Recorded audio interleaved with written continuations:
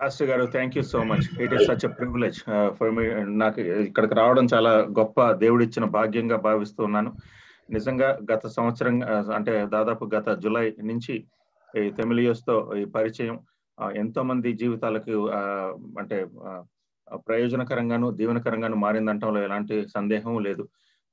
ఎన్నో విషయాల్లో బయట నుంచి ఆపోజిషన్ వస్తున్నప్పటికీ మీరు నిలబడ్డ తీరు చాలా ముదావహం. మీరందరూ ఒక టీమ్గా పనిచేసి ఎంతో మందిని రక్షించ అంటే వాళ్ళ ప్రాణాలని కాపాడగలిగారు. అందు అందుని బట్టి నిజంగా దేవునికి ఎంతో వందనస్తున్నాం. ఇదంతా మనం అందరం ఇక్కడ ఇక్కడ ఉన్నాము అంటే కేవలం దేవుని కృపే. దేవుని యొక్క మన హోప్ అంతా కూడా పక్కన ఎంతో అల్లకల్లోలంగా ఉన్నప్పటికీ మన హోప్ ఈజ్ ఇన్ గాడ్. ఒక చిన్న కీర్తన ఒక కీర్తన చిన్న నలభై ఆరో కీర్తన చదివి ఆ కొన్ని మాటలు నేను పంచుకున్న తర్వాత క్వశ్చన్స్లోకి వెళ్దాం. నలభై ఆరో కీర్తనలో ఇది ఒక గొప్ప అంటే దేవుని దేవుని యొక్క అంటే గాడ్ ఇస్ హిజ్ రెఫ్యూజ్ దేవుడు దేవుని ఆశ్రయాన్ని బట్టి సంతోషించే భక్తుని పాట. దేవుడు మనకు ఆశ్రయమును దుర్గమునై ఉన్నాడు. ఆపత్కాలంలో ఆయన నమ్ముకునదగిన సహాయకుడు. కావున భూమి మార్పు నొందినను నడి సముద్రంలో పర్వతములు మునిగినను వాటి జలములు ఘోషించుచు నురుగు కట్టినను ఆ పొంగునకు పర్వతములు కదిలను మనం భయపడం. ఒక నది కలదు. దాని కాలువలు దేవుని పట్టణమును సర్వోన్నతిని మందిరపు పరిశుద్ధ స్థలమును సంతోషపరుచుతున్నవి దేవుడు ఆ పట్టణంలో ఉన్నాడు. దానికి చలనము లేదు. అరుణోదయమున దేవుడు దానికి సహాయము చేయుచున్నాడు. జనములు ఘోషించుచున్నవి. రాజ్యములు కదులుచున్నవి. ఆయన తన కంఠత్వని వినిపింపగా భూమి కరిగిపోతున్నది సైన్యములకు అధిపతి యహో సైన్యములకు అధిపతి యహోవా మనకు తోడై ఉన్నాడు.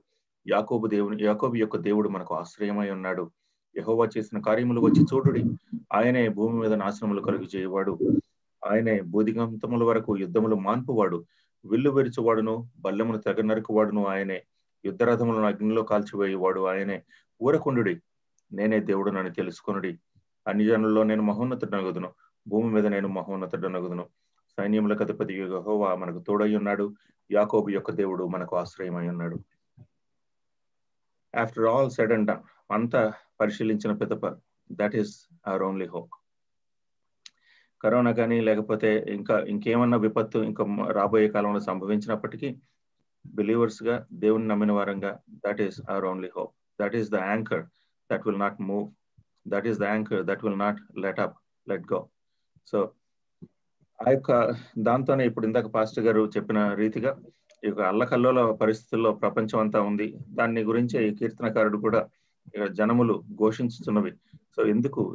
రాజ్యములు కదులుతున్నవి you know what corona virus last వచ్చిన పాండమిక్ కంటే ఇప్పుడు ఇప్పుడు సెకండ్ వేవ్లో this is just completely destroying the foundations of the nations and the అది అందరికి మనందరికీ తెలిసిన విషయమే. దీని విషయంలో మనం తెలుసుకోవాల్సిన విషయం ఏంటి అనేది అంత కొంతమంది కొత్త వారు జాయిన్ ఉంటారని చెప్పి అనుకుంటున్నాను. అందరి బట్టి జస్ట్ ఒక ఈ డిసీజ్ గురించి ఒక టెన్ మినిట్స్ ఇంట్రొడక్షన్ మీకు ఇచ్చిన తర్వాత నేను క్వశ్చన్ అండ్ ఆన్సర్ సెషన్లోకి వెళ్దాం. ఏ రోగం అయినప్పటికీ లేకపోతే ఏ జబ్బు అయినప్పటికీ ఏ సమస్య అయినప్పటికీ మనం ఆ సమస్యని సరిగ్గా సాధించాలి అంటే దాన్ని పూరించాలి అంటే లేకపోతే దానికి పరిష్కారం కనుక్కోవాలి అంటే ఆ సమస్య యొక్క ఆ స్టేట్మెంట్ ప్రాబ్లం స్టేట్మెంట్ అనేది సరిగ్గా ఉండాలి. అంటే ఏంటంటే ఆ సమస్యని మనం సంపూర్ణంగా అర్థం చేసుకున్నప్పుడు మాత్రమే దాని యొక్క పరిష్కారానికి మనం ఒక ఒక నాంది పలకగలం అనేది లేకపోతే దానికి ఒక బిగినింగ్ ఇవ్వగలం అనేది మనం అర్థం చేసుకోవాలండి. ఇప్పుడు అలాగే మెడికల్ మెడికల్ ఈ వీటిలో పాండమిక్స్లో ఆ డిసీజ్ ప్యాథోఫిజియాలజీ ఏంటంటే ఆ డిసీజ్ ప్రోగ్రెషన్ ఏంటి ఎలా స్టార్ట్ అవుతుంది ఎలా ప్రోగ్రెస్ అవుతుంది దాని యొక్క పర్యవసానాలు ఏంటి లాంగ్ టర్మ్లో దాని కాన్సిక్వెన్సెస్ ఏంటి అనేది మనం అర్థం చేసుకోలేకపోతే కనుక వీఆర్ నో బెటర్ మనం దాన్ని ఒకవేళ దాని దాని యొక్క పరిష్కారం కనుక్కోవడానికి ఎంతో దూరం అంటే దగ్గరలో లేమనేది మనకు స్పష్టంగా అర్థమవుతుంది. కానీ ఇప్పుడు మనం చూడాల్సింది ఏమిటి అంటే ఇప్పుడు అసలు ఈ డిసీజ్ అంటే ఇది ఈ కరోనా వైరస్ కోవిడ్ అంటే ఏంటి? కోవిడ్ మనం చూ చూసినప్పుడు ఇది ఒక ఒక వైరస్ ద్వారా లేకపోతే సార్స్ కోవి టూ లేకపోతే నోవల్ కరోనా వైరస్ అనే వైరస్ ద్వారా సంక్రమించే వ్యాధి అని చెప్పి మనందరికీ తెలుసు. దీని నుంచి ఎలా బయటపడాలి అనేది మనందరికీ ఎక్స్పర్ట్లు మొదటి నుంచి చెప్తూ వచ్చారు. అదంతా మనందరికీ తెలుసు. వాటన్నిటిని మనం డిస్కస్ చేయాల్సిన అవసరం లేదు. మాస్కులు పనిచేస్తున్నాయా చేయడం లేదా? ఈ డిబేట్ అంతా it is we are well past that stage at this point what we need to understand మనం అర్థం చేసుకోవాల్సిన విషయం ఏమిటంటే ఈ డిసీజ్ ఏమిటి? అది ఎలా ప్రోగ్రెస్ అవుతుంది? దానికి ఒకవేళ అలా ఉన్నప్పుడు దానికి ఏదైనా పరిష్కారం ఉందా అనేది మనం ఆలోచించాలి. ఈ డిసీజ్ ఏమిటి అంటే వైరస్ మన బాడీలోకి వెళ్ళినప్పుడు ఇట్ స్టార్ట్స్ రెప్లికేటింగ్ ఆ రెప్లికేట్ అయ్యే క్రమంలో కొన్ని మనకు మనకు కలిగే ఒక సిమ్టమ్స్ కొన్ని ఉంటాయి.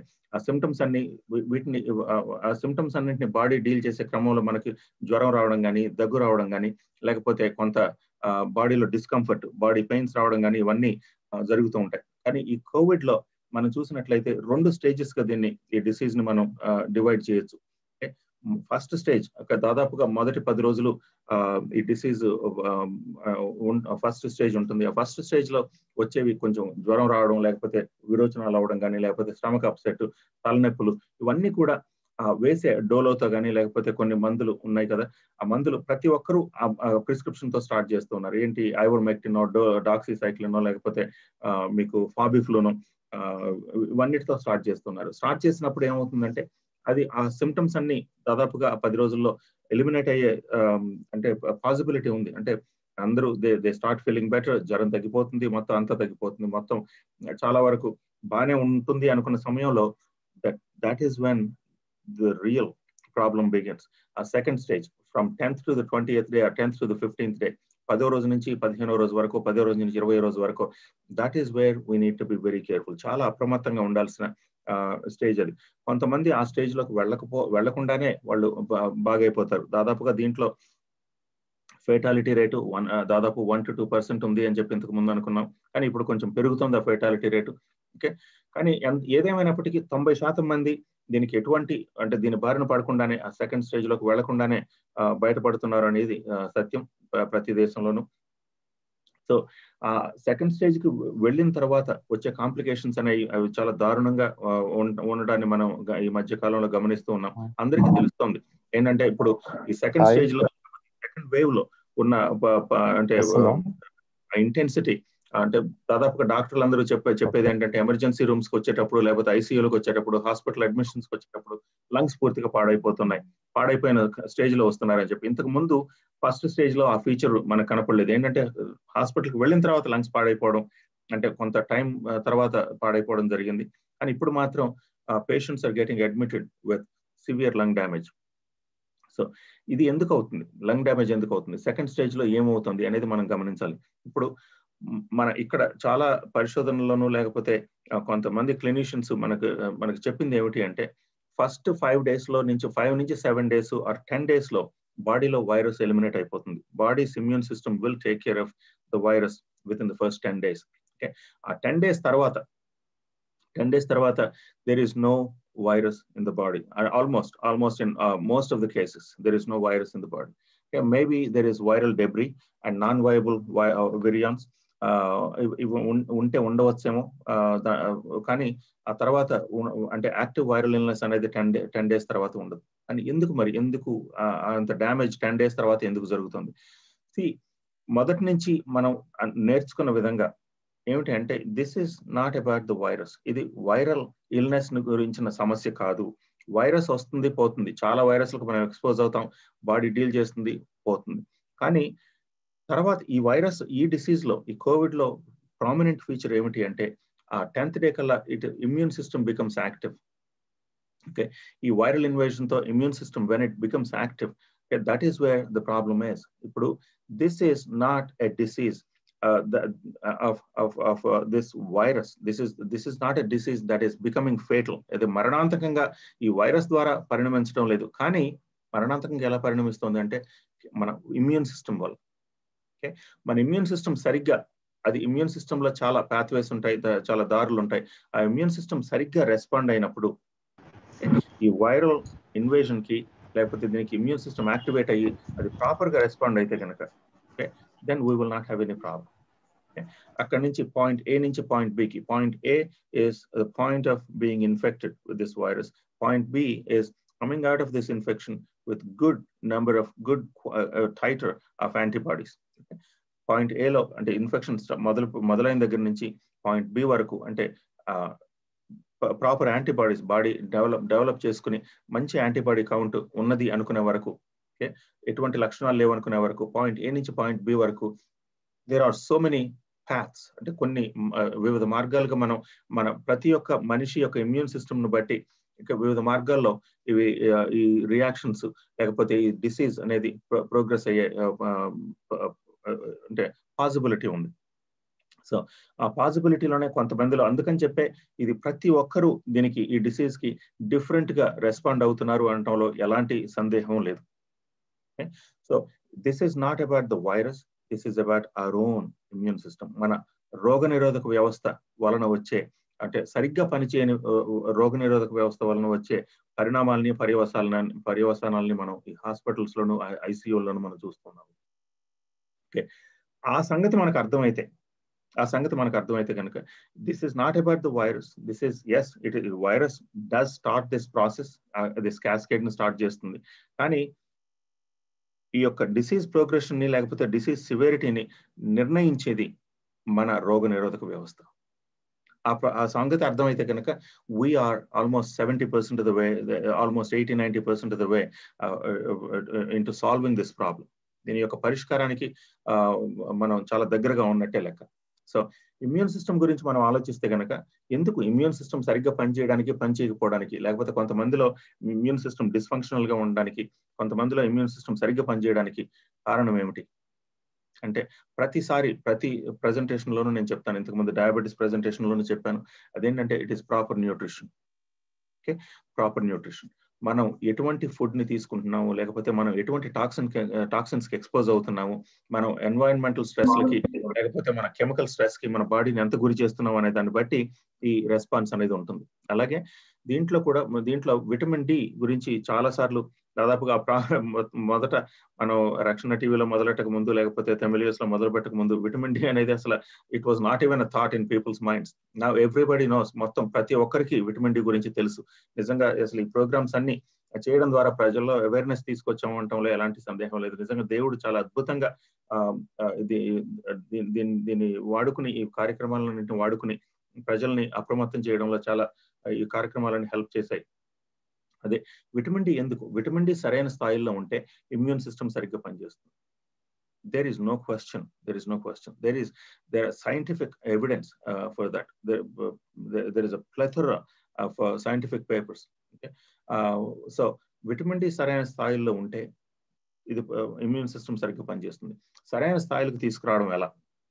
అనేది మనం ఆలోచిస్తే సరైన స్థాయికి క్విక్గా తీసుకొచ్చేసి ఒకటి రెండు రోజుల్లో విటమిన్ డిని కరెక్ట్ చేసేసి లేకపోతే మెగా డోసులు వేసుకుని ఇమ్యూన్ సిస్టమ్ సరిగ్గా పనిచేయమంటే అదేంటి అది ఎలా అది అది అదేంటంటే అది సాధ్యం కాని పని. ఏంటంటే లెవెల్స్ అంటే సరైన స్థాయిలకు రీచ్ అయినప్పటికీ దెర్ ఈస్ ఇమ్యూన్ డిస్ఫంక్షన్. ఇంత ఇంతవరకు ten years twelve years thirteen fifteen twenty years or all our life time మన లైఫ్ టైం అంతా కూడా మన రోగనిరోధక వ్యవస్థ డిస్ఫంక్షనల్గా ఉన్న స్థాయి నుంచి ఒక రోజు విటమిన్ డి ఇచ్చేసి సరిగ్గా పనిచేయమంటే that is not going to work. That is not going to happen. It takes hard work. It takes time. It takes a lot of time. అందుకని చెప్పి చాలా మంది అడిగిన రీతిగా ఇంతకు ముందు అడిగారు విటమిన్ డి లెవెల్స్ సరిగ్గా ఉంటే ఒక వంద ఉంటే గనక ఈ ఇన్ఫెక్షన్ ఎదుర్కోవచ్చా? లేకపోతే ఇన్ఫెక్షన్ రాకుండా ఉంటుందా అని చెప్పి.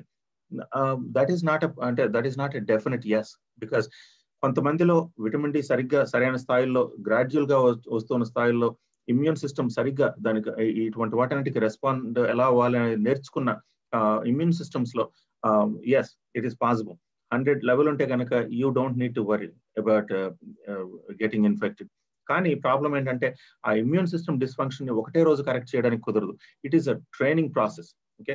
ఒక చిన్న పిల్లడికి సైకిల్ నేర్చుకోవడం ఎలాగో సైకిల్ తొక్కడం ఒకటే రోజులో రాని విధంగా బ్యాలెన్స్ చేసుకోవాలి. మొత్తం దాంట్లో చిన్న చిన్న మజిల్స్ డెవలప్ అవ్వాలి. లేకపోతే ఆ రిఫ్లెక్సెస్ డెవలప్ అవ్వాలి. ఇవన్నీ డెవలప్ అవుతూ అవుతూ అవుతూ ఒక పది రోజులు పదిహేను రోజుల తర్వాత సైకిల్ తొక్కి పడిపోతూ ఉంటాడు. అలాగే తొక్కిన తర్వాత అంటే తర్వాత ఫ్లూయెంట్గా బ్యాలెన్స్ చేసుకోవడానికి లేకపోతే కంట్రోల్ చేసుకోవడానికి నేర్చుకుంటాడు. Same thing. అలాగే ఇమ్యూన్ సిస్టమ్ కూడా ఇవన్నీ కూడా ఎలా రెస్పాండ్ అవ్వాలి అనేది నేర్చుకునే ప్రక్రియలో విటమిన్ డిని సరిగ్గా మెయింటైన్ చేయడం అనేది చాలా ఎసెన్షియల్ అండి. సో అది అర్థమైన తర్వాత ఇప్పుడు ఒకవేళ కోవిడ్ వచ్చిన తర్వాత సంగతి ఏంటి? అనేది మనం ఆలోచిస్తే నిజంగా లాస్ట్ వన్ ఇయర్లో నేను నేర్చుకున్నది ఏమిటి అంటే విటమిన్ డి స్థాయిలను కరెక్ట్ చేయడం మాత్రమే కాదు.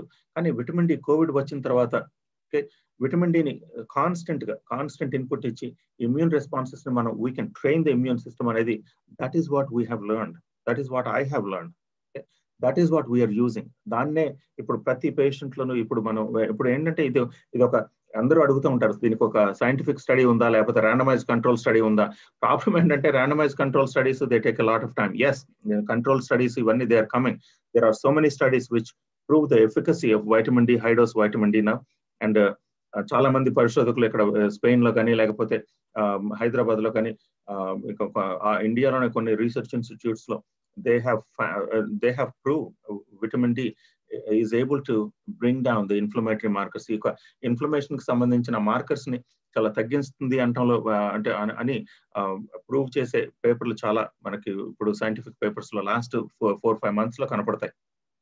సో విటమిన్ డి అనేది it is a necessity vitamin D అనేది it is non negotiable okay vitamin D toxicity గురించి ఇంతకు ముందు మాట్లాడాం. I don't want speak about vitamin D toxicity because ఒకవేళ విటమిన్ డి టాక్సిక్ అయితే ఇంతమందిలో ఇన్ని డోసులు ఇస్తూ ఉంటే లాస్ట్ ఇయర్ నుంచి we have not seen any even one case of vitamin D toxicity so you will hear from people people's testimonies that how ఇంటి దగ్గరే ఎంతమంది దాదాపుగా హండ్రెడ్ పర్సెంట్ ఆఫ్ ద కేసెస్లో ప్రతి ఇంటి ఇళ్ళ దగ్గర కోవిడ్ వచ్చిన వాళ్ళని ఎంతమందిని ఈవెన్ సివియర్ సిమ్టమ్స్ ఉన్న వాళ్ళని కూడా మేము విటమిన్ డి ద్వారా వాళ్ళ ఇమ్యూన్ రెస్పాన్సెస్ని మాడ్యులేట్ చేయడం ద్వారా కంట్రోల్ చేయడం ద్వారా దాని ఇమ్యూన్ సిస్టమ్ ట్రైన్ చేయడం ద్వారా we are able to bring them from point A to point B in the safest way possible Okay, so that is the brief overview of what this disease is. This is not about the virus. Killing the virus is is not uh, we we cannot do it. ఇంకోటి ఏంటంటే killing the virus అనేది it has to happen before the immune system gets activated immune system అది activate అయ్యే ముందే వైరస్ని kill చేయాలి. అంటే ఎప్పుడు చేయాలి?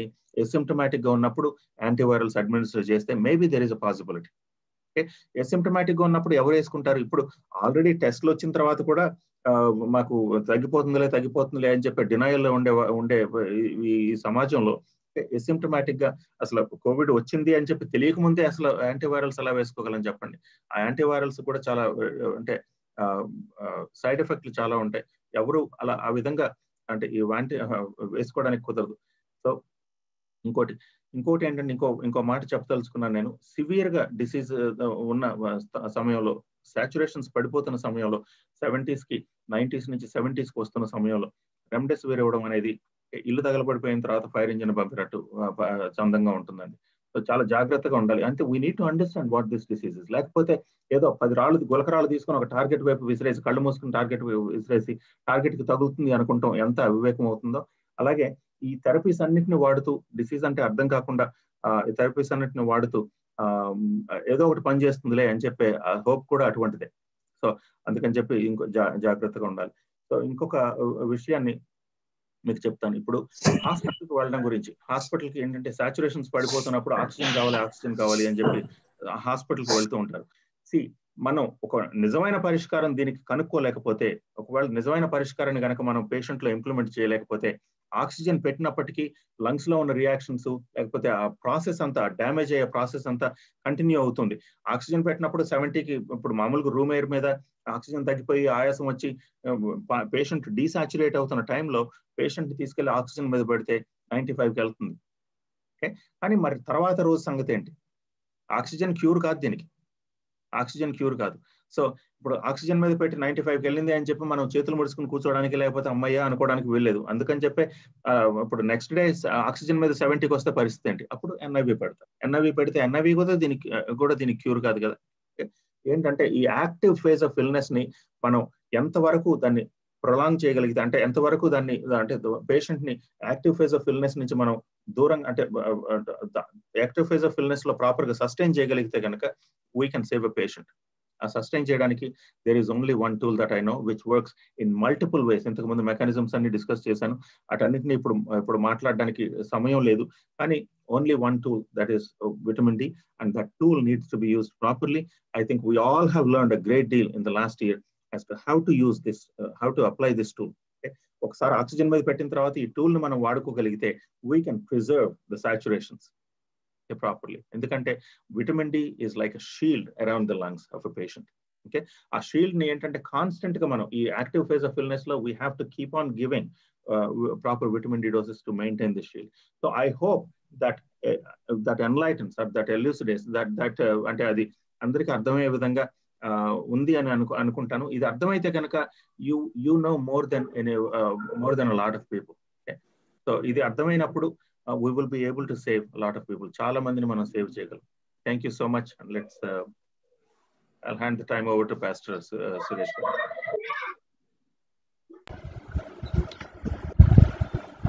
Thank you doctor గారు చాలా అద్భుతంగా అసలు కారణం ఏంటి?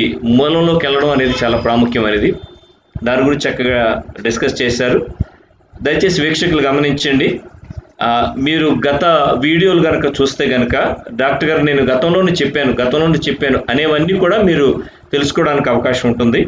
మరి చాలా వివరంగా మా ఫస్ట్ ఎపిసోడ్లోని మేము డాక్టర్ గారితో ఆ విషయాలు మరి నేర్చుకోవడం జరిగింది. ఆ తర్వాత సెకండ్ వీడియోలో కూడా చాలా అద్భుతంగా ఇంకా మరిన్ని విషయాలు చెప్పారు. ఈ థర్డ్ డిస్కషన్లో కూడా మనం కొన్ని ఇంకా కొన్ని విషయాలు. డాక్టర్ గారు ఇప్పుడు మా ఈ యొక్క మనం పెట్టింది ఏంటంటే రెండవ దశ మన దశ అని పెట్టాం. ఇప్పుడు ఈ ఈ ప్రస్తుత కరోనా ఉధృతికి కారణం ఏంటి? ఇది is it failure of human what's human failure or ఈ ఈ యొక్క అంటే uh, వైరస్ ఉధృతి ఎక్కువ ఉందా? లేకపోతే వైరస్ బలమైందా ఈ సెకండ్ స్ట్రెయిన్లో ఏంటి కారణం? మన ఫెయిల్యూరా లేకపోతే దాని తాలూకా మరి అంటే పవర్ అని లేకపోతే తిరిగి బలం పొంది మళ్ళీ వచ్చిందా అందరికి అన్నది ఈ మొదటి ప్రశ్న డాక్టర్ గారు. ఇది బలపడి మన దగ్గరికి వచ్చిందా అనేది దాని విషయం కొన్ని నిమిషాలు మీరు మాట్లాడుతుంది కోరుతున్నాను. సో ఇప్పుడు దానికి చాలా మంచి ప్రశ్న అండి. కానీ దానికి ఒక ఒక యథబద్ధంగా ఒక ఒక సమాధానం అనేది చెప్పడానికి సాధ్యం కాదు. కానీ మనం ఆలోచిస్తే లాస్ట్ దాంట్లో లాస్ట్ ఇయర్ అంతా మనం చూసినట్లయితే వీ వర్ డీలింగ్ విత్ ఒక కొన్ని దాదాపు ఒక ప్రామినెంట్గా ఉన్న స్ట్రెయిన్స్ మూడు స్ట్రెయిన్స్ను మనం చూసాం.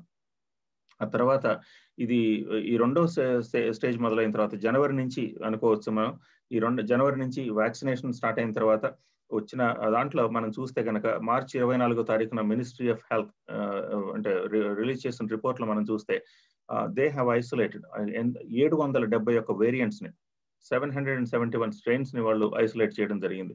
సో ఎందుకు? అంటే ఒకటేసారి ఈ కరోనా ఉధృతి ఎలా ఇంత అంటే ఇంత మ్యూటేషన్ ఉత్పరివర్తనాలు ఇంత అంటే ర్యాపిడ్గా ఎలా జరిగినాయి అని చెప్పి మనం ఆలోచిస్తే కనుక ఇప్పుడు దీంట్లో వైరల్ రెప్లికేషన్ అనేది ఉంటుంది. Viral replication potential. ఇప్పుడు ప్రతి ఒక్కరిలోనూ వాళ్ళ ఇమ్యూన్ సిస్టమ్ని బట్టి ఆ వైరల్ రెప్లికేషన్ పొటెన్షియల్ మారుతూ ఉంటుంది. వైరల్ రెప్లికేషన్ కొంతమందిలో ఎక్కువ ఉండొచ్చు కొంతమందిలో తక్కువ ఉండొచ్చు.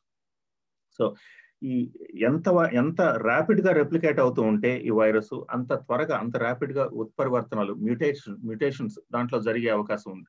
అలాగే ఇంకొకటి ఏదైనా ఒక ఒక ఛాలెంజ్ ఏదైనా దానికి ఒకవేళ వైరస్కి ఛాలెంజ్ ఏదైనా వచ్చినప్పుడు it can adapt to that challenge so ఒకవేళ స్పైక్ ప్రోటీన్లో మనం స్పైక్ ప్రోటీన్కి యాంటీబాడీస్ ఉన్నప్పుడు ఆ antibodies they can force mutations they can force ఉత్పరివర్తనాలు into in the viral అంటే ఆర్ఎన్ఏ సో అది అర్థమైతే కనుక మనకి so if if we are dealing with many strains okay ప్రతి స్ట్రెయిన్ కూడా uh, దాని ఎంత దాని స్ప్రెడ్ పొటెన్షియల్ కొంచెం డిఫరెంట్గా ఉంటుంది.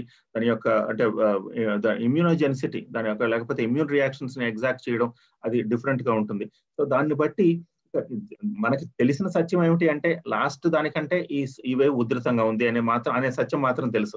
దాని కారణాలన్నీ చూస్తే కనుక ఒకటి ఇది అంటే ప్రాపర్ స్టడీ లేకుండా అది కారణం ఇది అని చెప్పడానికి వీల్లేదు. కానీ వీ కెన్ అంటే make an educated guess so ఈ ఎక్కువ స్ట్రెయిన్లు అయిపోవడం ఒకటి.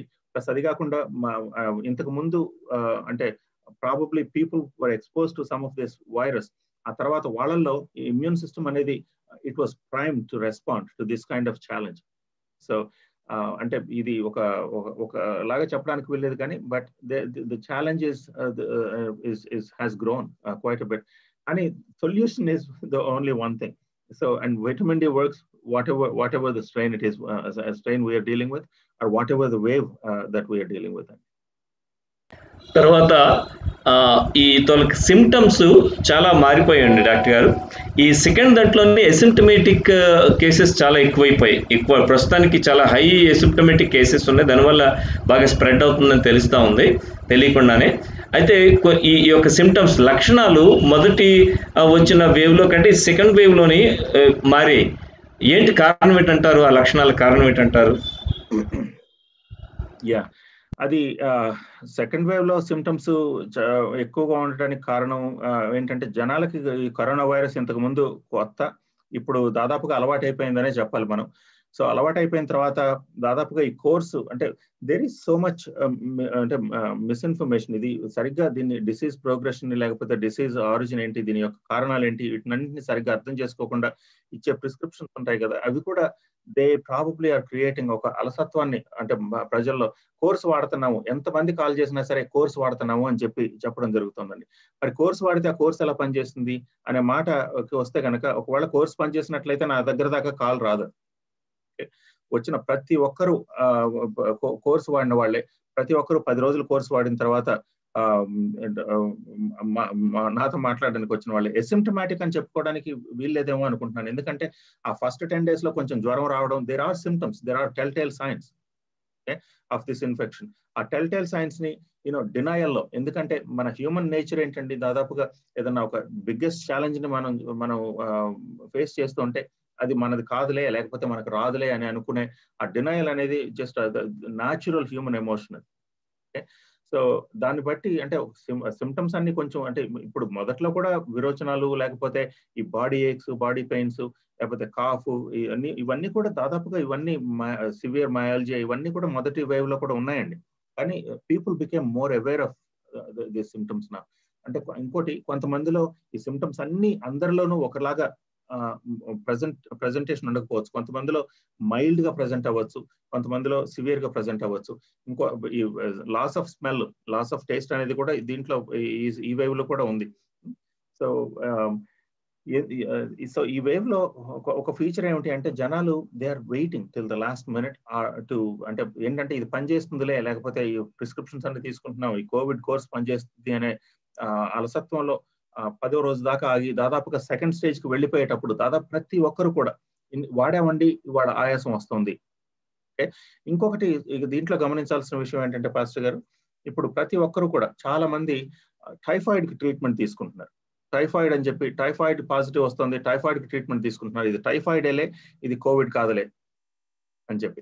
మళ్ళీ పది రోజుల తర్వాత వీళ్ళు దాదాపుగా లంగ్స్ అన్ని పూర్తిగా పాడైపోయిన స్టేజ్లో హాస్పిటల్స్కి వెళ్ళడం జరుగుతుంది. నిజంగా చెప్పాలంటే ఏదైనా టైఫాయిడ్ అయినా మలేరియా అయినా ఏదైనా సరే please I think let us presume that it is Covid Covid కూడా మనం ట్రీట్మెంట్ స్టార్ట్ చేయడం చాలా అంటే ఆవశ్యకం ఇక్కడ. తీసుకోండి యాంటీబయాటిక్స్ తీసుకోండి. దీనికి మన టైఫాయిడ్ యాంటీబయాటిక్స్ తీసుకుందాం.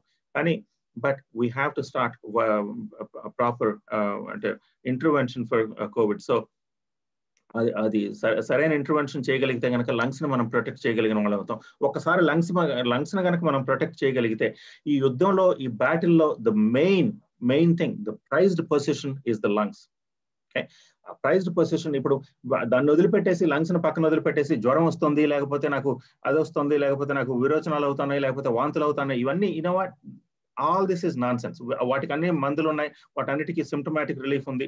వాటన్నిటిని పక్కన పెట్టండి. జ్వరం వస్తే మంచిదే. జ్వరం వస్తే that is okay it is not a problem okay ముందు లంగ్స్ని ప్రొటెక్ట్ చేసుకుందాం.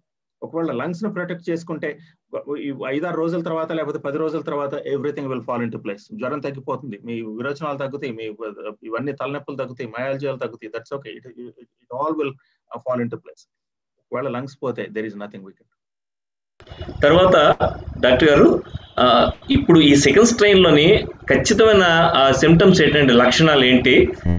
వాటిని మనం ఎలాగ ఎదుర్కోవాలి? మీరు ఒక మంచి విషయం చెప్పారు ఇందాల అంటే టూ స్టేజెస్ కింద చెప్పారు. First ten days and the next ten days అని.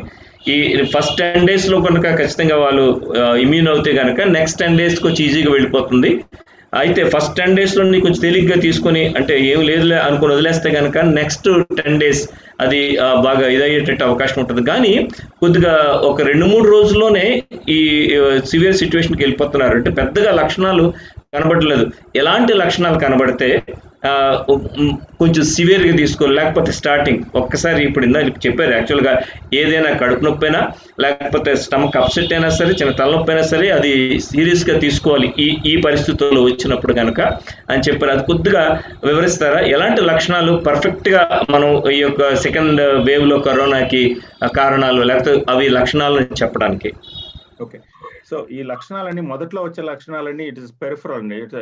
So there are two two parts of the immune system they one is innate immunity and one is the adaptive immunity innate immunity ఇది అంటే మొదట్లో as soon as ఒక pathogen మనలోకి enter అయినప్పుడు innate immunity comes into picture and it takes care of the wire ఏదైనా తీసుకోవాలి. అంటే that is the first line of defence okay ఆ డిఫెన్స్ యాక్టివేట్ అయ్యే క్రమంలో వచ్చే లక్షణాలు జ్వరం కానీ సోర్ థ్రోట్ కానీ లేకపోతే ఈ లక్షణాలన్నీ కూడా దే అంటే ఈ లక్షణాలన్నీ చాలా అంటే కామన్ అంటే ఇంతకు ముందు ఫ్లూకి వచ్చిన లక్షణాలు ఎటువంటి అలాంటివి ఉంటాయి సో జ్వరం వచ్చినా లేకపోతే తలనొప్పి వచ్చినా కొంచెం ఏమాత్రం నల్లతగా ఫీల్ అయినా సరే లెట్ ఇస్ అజ్యూమ్ ఎందుకంటే this is an community spread మనకి ఇది దీన్ని అవాయిడ్ చేయడం అనేది సాధ్యం కాదు. మీరు డబుల్ మాస్క్లు పెట్టుకున్నా ట్రిపుల్ మాస్క్లు పెట్టుకున్నా దీన్ని అవాయిడ్ చేయడం సాధ్యం కాదు. నిజంగా డబుల్ మాస్క్లో ట్రిపుల్ మాస్క్లో పనిచేసినట్టయితే సింగిల్ మాస్క్లో పనిచేసేవి ఇంత ఇంత ఉధృతంగా ఉండేదే కాదు అసలు.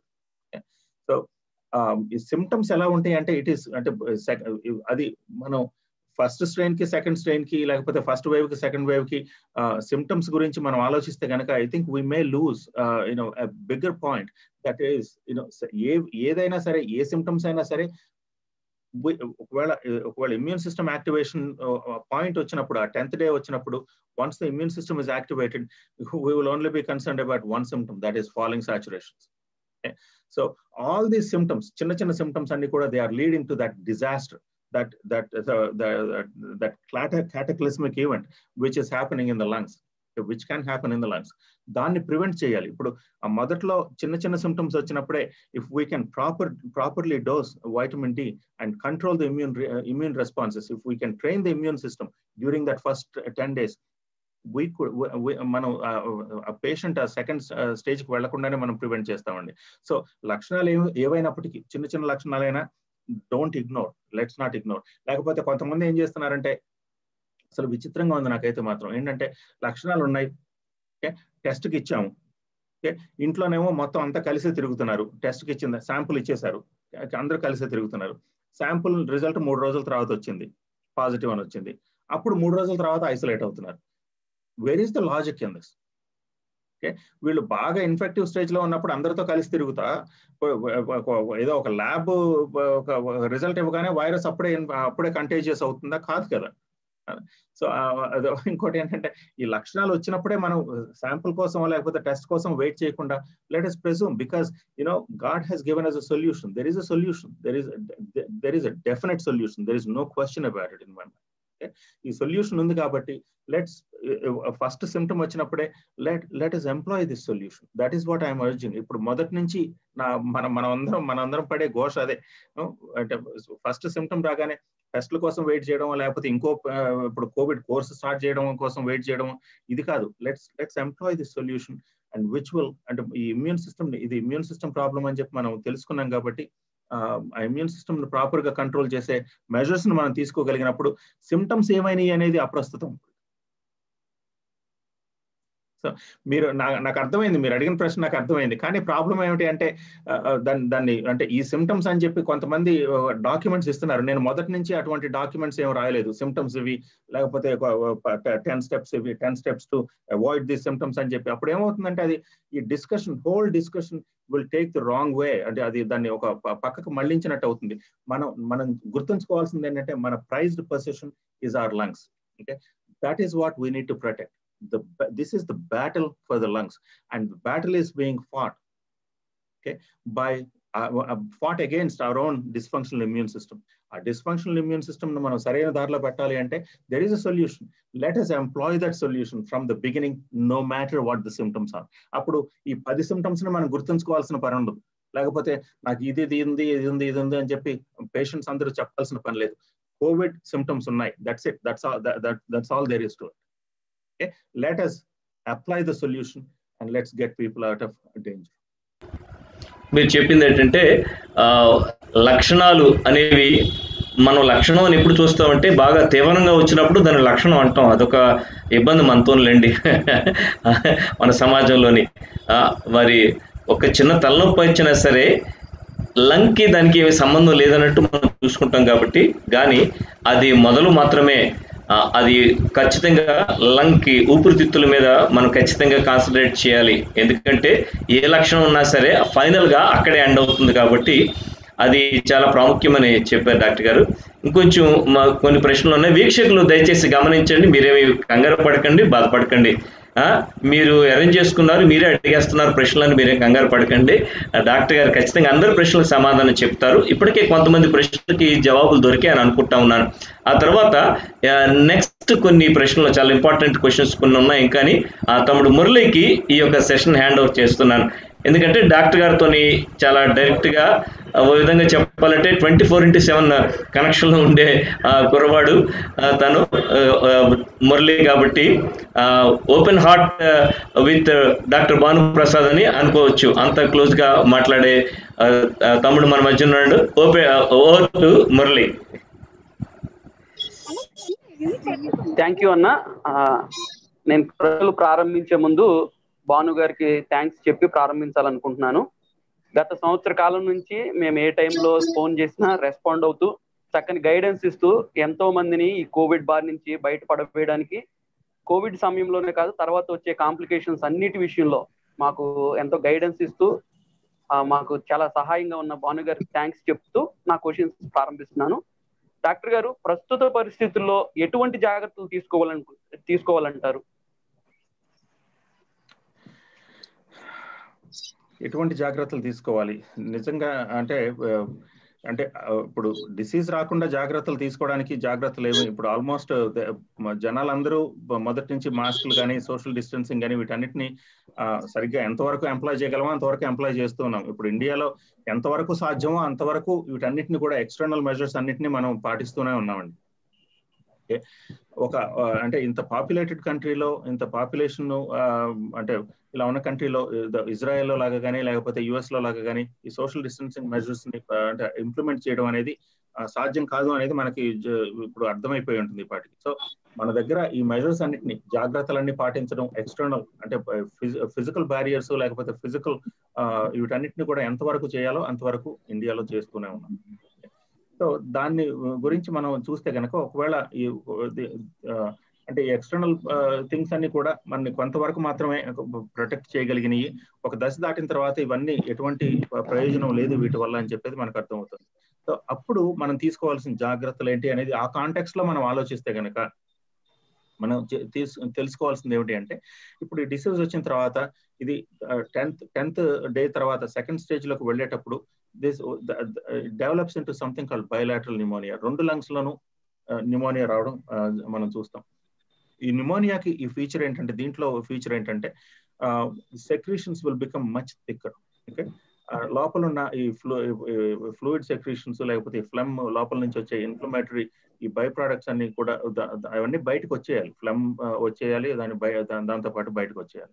అవన్నీ they start becoming much thicker ఒకవేళ థిక్ అయినప్పుడు ఏమవుతుందంటే functional unit of the lung that is alveoli it becomes engulf in this thick fluid viscous fluid ఒక థిక్గా ఉన్న ఫ్లూయిడ్లో ఎన్గల్ఫ్ అయిపోయినప్పుడు ద గ్యాస్ ఎక్స్చేంజ్ కాంప్రమైజ్ అవుతుంది. అందుకని చెప్పి సాచురేషన్స్ పడిపోవడం మొదలవుతాయండి. సో దాన్ని ప్రివెంట్ చేయడానికి సాచురేషన్ ఇప్పుడు థిక్ లంగ్లో మ్యూకస్ థిక్ అయినప్పుడు చేయ చేయాల్సింది ఏంటి మ్యూకలైటిక్స్ వాడతాం. ఆ మ్యూకలైటిక్స్ చేసేది ఏంటి they bring water into the lung they bring dilutes the secretions okay అందుకని చెప్పి నేను ఎందుకు చెప్తున్నానంటే ఇదంతా చెప్పేది ఎందుకంటే ప్రాపర్ హైడ్రేషన్ సరిగ్గా నీళ్ళు తాగడం అనేది చాలా ఇంపార్టెంట్ ఓకే మామూలుగా మనకు ఇలా ఇల్నెస్ ఉన్నప్పుడు ఏమి తాగబుద్ధి కాదు ఏమి తినబుద్ధి కాదు. కానీ we must force our cells అందుకని చెప్పే ప్రతి ప్రెజెంటేషన్లో చెప్పింది నేను. Okay, ప్రతి అరగంటకి ఒక గ్లాస్ నీళ్ళు తాగడం ఈజ్ ఇంపార్టెంట్ ఓకే ఒక నీళ్ళు తాగితేనే సరిపోతుందా? కాదు. ఎందుకంటే ఇది ఈ డిసీజ్లో మనం చూ- చూసిన ప్రామినెంట్ ఫీచర్స్ ఏమిటి అంటే డిసీజ్ ప్రోగ్రెస్ అవుతూ ఉన్న క్రమంలో సోడియం లెవెల్స్ పడిపోవడం మేము చూసాం. సోడియం లెవెల్స్ ఆల్మోస్ట్ డేంజరస్ లెవెల్కి పడిపోవడం చూసాం అనమాట అందుకని చెప్పి సాల్ట్ వాటర్ గురించి చెప్పాను. లేకపోతే మజ్జిగలో సాల్ట్ వేసుకోవడం గురించి సాల్ట్ వేసుకుని తాగడం గురించి చెప్పాను. ఇప్పుడు ఎక్కువ నీళ్ళు తాగేటప్పుడు you know we can suffer mineral imbalance so అందుకని చెప్పి ప్రాపర్ మినరల్స్ని మనం uh, మన డైట్లోకి ఇన్కార్పొరేట్ చేయడం. ఈ జాగ్రత్తలన్నీ నేను చెప్పే జాగ్రత్తలన్నీ ఏమిటి అంటే ఇది ఫిజికల్ బ్యారియర్స్ కాదు ఇవన్నీ ఫిజియోలాజికల్ బ్యారియర్స్ ఫిజియోలాజికల్గా మనం అడ్రస్ చేయొచ్చు వీటన్నిటిని. ఈ జాగ్రత్తలన్నీ ఏంటంటే మన బాడీ దీనికి సరిగ్గా రెస్పాండ్ అయితే లేకపోతే మ్యూకస్ సెక్రేషన్స్ థిక్ అవుతాయి. కాబట్టి దానికి దానికి ఎలాగా? So you know what we need to increase our water intake we need to increase our salt intake ఎందుకంటే మొత్తం మన దీంట్లో ఉన్న అంటే బ్రాంక్యూల్ బ్రాంకీలో ఉన్న దాంట్లో చిన్న చిన్న సీలియా అని ఉంటాయి. అవన్నీ కూడా ఈ మ్యూకస్ను పైకి తీసుకురావడానికి నిరంతరం పనిచేస్తూనే ఉంటాయి.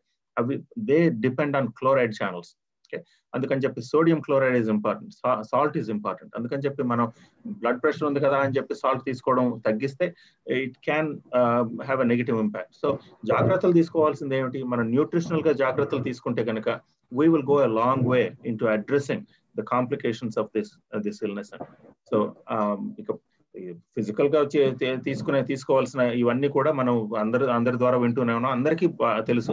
వాటి అందుకని చెప్ప వాటి గురించి మాట్లాడకుండా నేను కాన్సన్ట్రేటింగ్ ఆన్ జాగ్రత్తలు దట్ వీ మనం తీసుకోవాల్సిన జాగ్రత్తలు ఏంటి? మన ఫిజియలాజికల్గా మనం ప్రొటెక్ట్ చేసుకోవడానికి తీసుకోవాల్సిన జాగ్రత్తలు అనేవి proper hydration is important vitamin D at right doses in right doses and in right intervals is important సరైన ఫుడ్ తీసుకోవడం ఇంపార్టెంట్ ఇంకోటి ఏంటంటే షుగర్ లెవెల్స్ ప్రతి ఒక్కరిలోనూ హాస్పిటల్స్కి వెళ్ళిన ప్రతి ఒక్కరిలో sugar levels they are going through the roof ఎందుకంటే హైడోస్ స్టెరాయిడ్ థెరపీలో షుగర్స్ని కంట్రోల్ చేయడం సాధ్యం కాదు. ఇప్పుడు ఒక దగ్గర ఒక ఒక బ్యాటిల్ ఫైట్ చేస్తా ఇంకో ఇంకోటి ఏం చేస్తున్నాం అంటే వీఆర్ క్రియేటింగ్ అనదర్ క్రైసిస్ ఆ క్రైసిస్ని డీల్ చేయడానికి we're pumping people with insulin ఒక దశకు వెళ్ళిన తర్వాత ఇన్సులిన్ కూడా రెస్పాండ్ అవ్వని స్టేజ్ వచ్చేస్తుంది ఇక్కడ.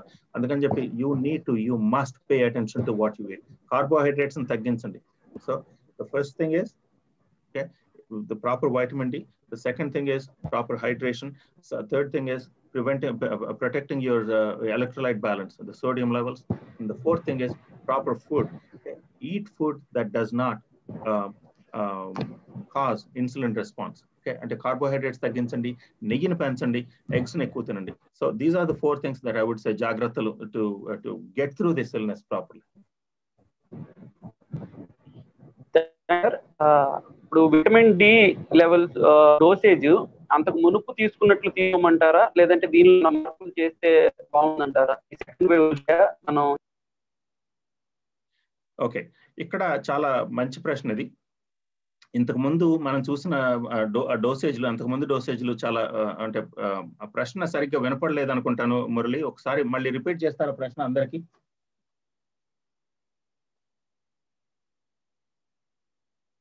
Hello Murali. I think Murali's connection is gone so తను అడిగింది ఏంటి అంటే ఇంతకు ముందు ఫస్ట్ వేవ్లో మనం సజెస్ట్ చేసిన డోసేజ్లని అంటే సజెస్ట్ చేస్తామా? లేకపోతే ఇప్పుడు ఏమన్నా డోసేజ్లో ఏమన్నా మార్చాలా? అని చెప్పి. అంతే డాక్టర్ గారు. విటమిన్ అదే విటమిన్ డి డోసేజెస్లో ఫస్ట్ వేవ్కి సెకండ్ వేవ్కి ఏమైనా మార్చాలా? ఇప్పుడు ఇప్పుడున్న ఈ స్ట్రెయిన్కి ఏమైనా డోసేజ్ మార్చాలా? అనేది ఇందాల మురళి ప్రశ్న అండి. ఇంతకు ముందు కంటే ఇప్పుడు మనకు కొంచెం సమయం దొరికింది కాబట్టి ఇప్పుడు మానిటరింగ్ మనం చేసుకోవడానికి కొన్ని కొన్ని పారామీటర్స్ మనం చూ చూ అంటే ఈజీగా చూసుకోవచ్చు అండి అంటే దాన్ని బట్టి ఆ పారామీటర్స్ని బట్టి మనం డోసింగ్ చేయాల్సి ఉంటుందండి.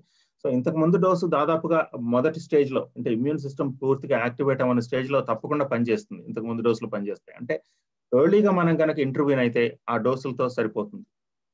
కానీ ఒకవేళ ఇఫ్ వి అంటే మనం పేషెంట్స్ దాదాపుగా చివరి వరకు వెయిట్ చేసి ఈ కోర్సులన్నీ వాడిన తర్వాత అప్పుడు ఫెయిల్ అవుతున్నారు అని చెప్పి అనుకుంటే మాత్రం that is one we need to dose it according to their symptoms వాళ్ళ సిమ్టమ్స్ని బట్టి మనం డోస్ చేయాల్సి ఉంటుందండి.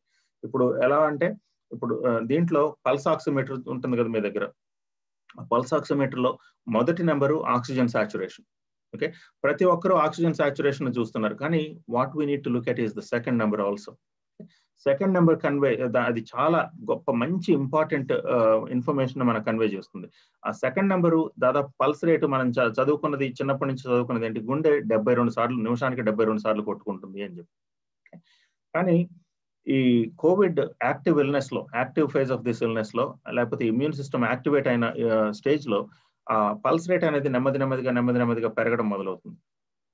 సో సెవెంటీస్ నుంచి ఎయిటీస్కి ఎయిటీస్ నుంచి nineties hundred hundred and ten twenty thirty forty అక్కడికి వెళ్ళిన తర్వాత అప్పుడు అప్పుడు లంగ్ ఇంజరీ పూర్తిగా అయిన తర్వాత అప్పుడు అప్పుడు లంగ్ ఇంజరీ స్టార్ట్ అయిన తర్వాత that is one the saturations will start going down so మనకి ఆ రెండు నెంబర్లను సరిగ్గా మనం చూసుకోవడం ద్వారా అలాగే పల్స్ని మనం గనక ఒకవేళ ఇది అంటే సీరియస్ కండిషన్కి వెళ్ళేటప్పుడు లంగ్ లంగ్లో డ్యామేజ్ అయ్యే ముందే మనం పల్స్ని గనక క్రమబద్ధీకరించుకోగలిగితే ఓకే ఎలా క్రమబద్ధీకరిస్తాము?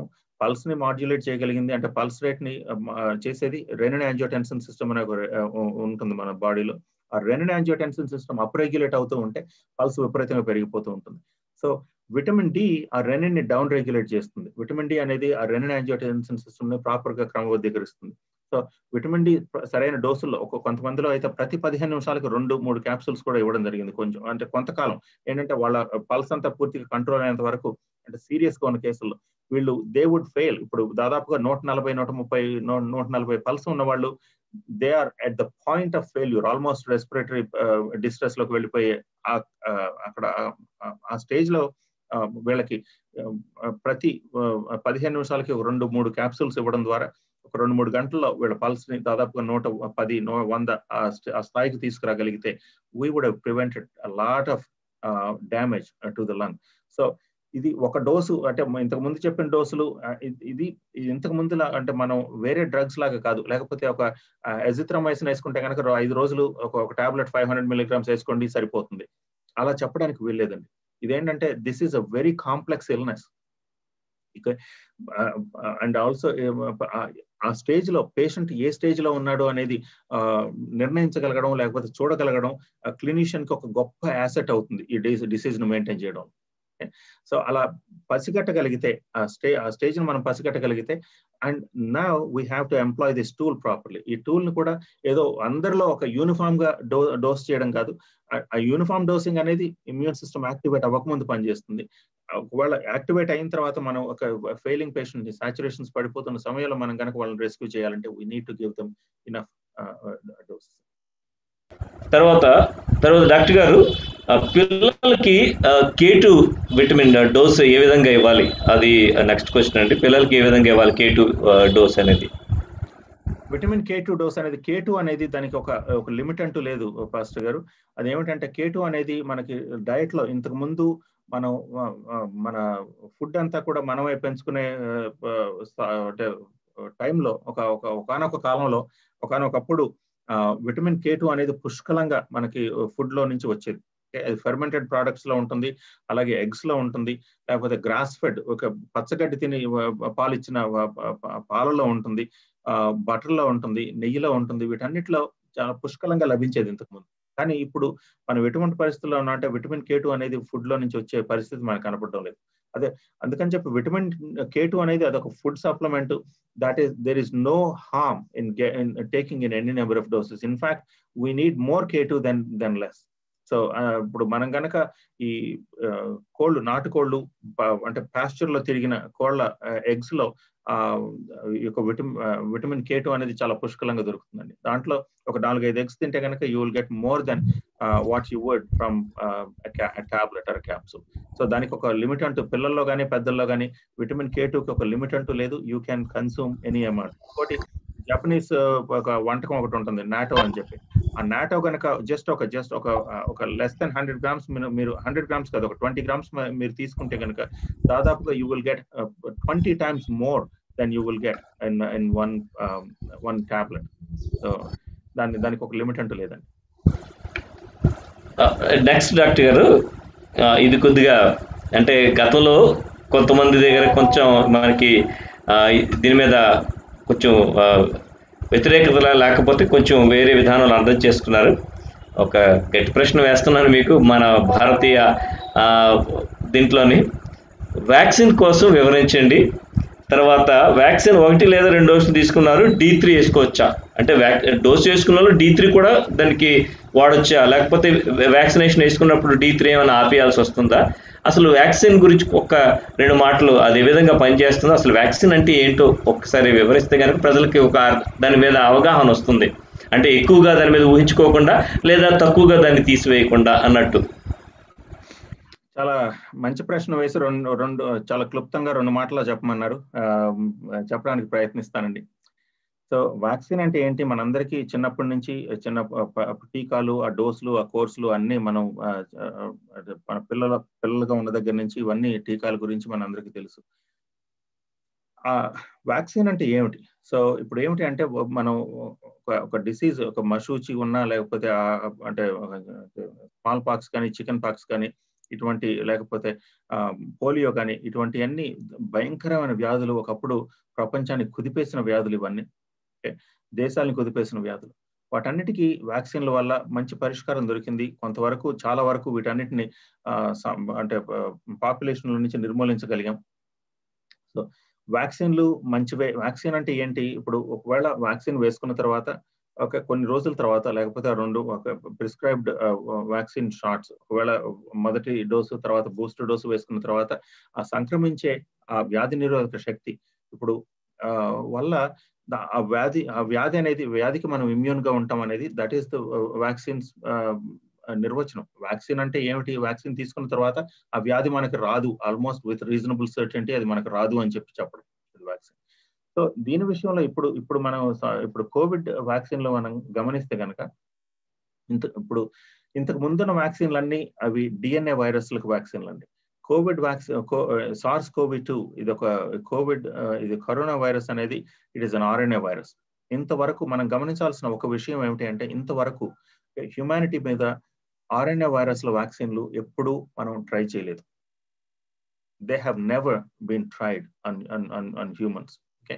ఎందుకంటే ఆర్ఎన్ఏ వైరస్లకు వ్యాక్సిన్ డెవలప్ చేయడం అనేది it is a very challenging task అందుకని చెప్పి లాస్ట్ టైం మాట్లాడుకున్నప్పుడు కూడా దీని గురించి వ్యాక్సిన్ల గురించి ఒక ప్రశ్న వచ్చినప్పుడు దాని సేఫ్టీ టెస్ట్లు ఫెయిల్ అయినాయి. ఇంతకు ముందున్న ఇంతకు కరోనా వైరస్ ఇది ఒకటే కాదు కదా ఇంతకు ముందు వచ్చాయి మర్స్ అని వచ్చింది సార్స్ అని వచ్చింది టూ థౌజండ్ టూలో టూ థౌజండ్ టెన్లో మర్స్ వచ్చింది. టూ థౌజండ్ ట్వెల్వ్లో మర్స్కి సేమ్ సిమిలర్ టెక్నాలజీతో వ్యాక్సిన్ డెవలప్ చేశారు. చేసి దాని సేఫ్టీ టెస్టింగ్ చేసినప్పుడు వాళ్ళు గమనించింది ఏమిటి అంటే ఈవెన్ దో అది ఒక యాంటీబాడీస్ని వ్యాక్సిన్ డెవలప్ చేసినప్పటికీ అక్కడ కానీ ఆరు నెలల తర్వాత వచ్చే పరి పరిణామాల్లో అది అంత సేఫ్ కాదు అని చెప్పి అది నిర్ణయించడం వల్ల దాన్ని మార్కెట్లోకి తీసుకురాలేదు. కానీ ఇప్పుడు జరిగింది ఏమిటి అంటే ఇది దీని ఒక భయంకరమైన పాండమిక్ ప్రపంచాన్ని కుదిపేస్తుంది కాబట్టి దీని సేఫ్టీ టెస్టింగ్ లేకుండా ఎమర్జెన్సీ యూజ్ ఆథరైజేషన్ అంటాం దీన్ని.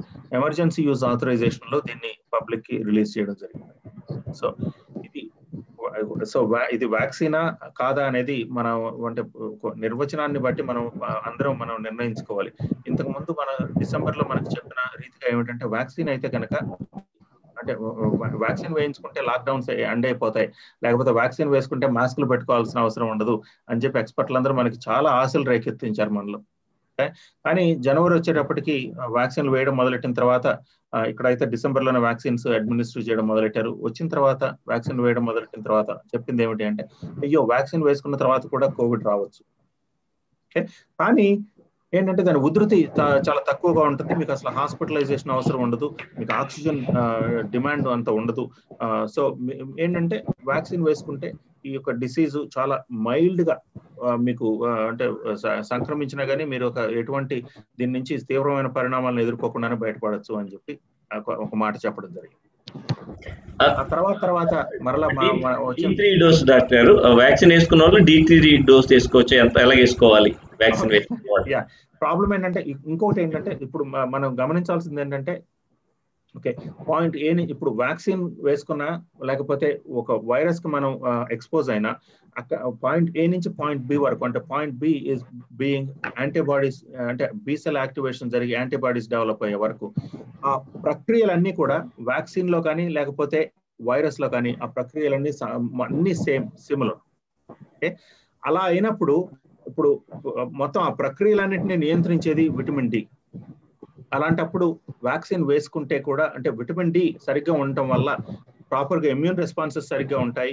వ్యాక్సిన్ వల్ల వచ్చే దుష్పరిణామాలు లేకపోతే వచ్చే చాలా మంది వ్యాక్సిన్లు వేసుకుని పాజిటివ్ అయ్యి దాదాపు చనిపోయిన వాళ్ళు మనందరికీ తెలుసు.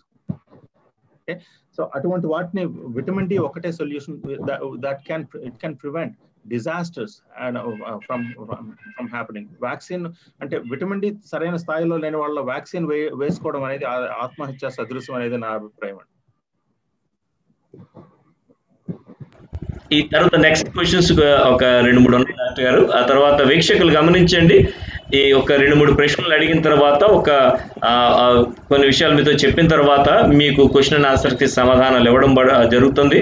మీరు హ్యాండ్ రైజ్ చేసిన లేకపోతే మీ క్వశ్చన్ టైప్ చేస్తే మంచిది. అప్పుడు వారిని అన్మ్యూట్ చేసినప్పుడు వారు అడగడానికి అవకాశం ఉంటుంది. Over to Vikram. Next questions Vikram మనల్ని అడుగుతాడు. రైట్ విక్రమ్.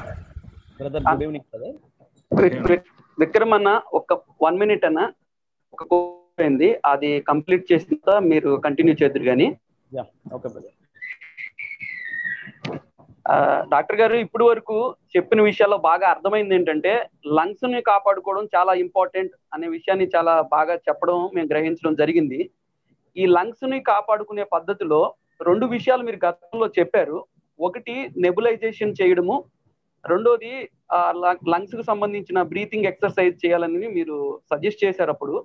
సో ఆ రెండింటి మీద ఒక రెండు క్వశ్చన్లు నేను క్లుప్తంగా అడిగేసి నేను విక్రమానికి హ్యాండ్ ఓవర్ చేస్తాను.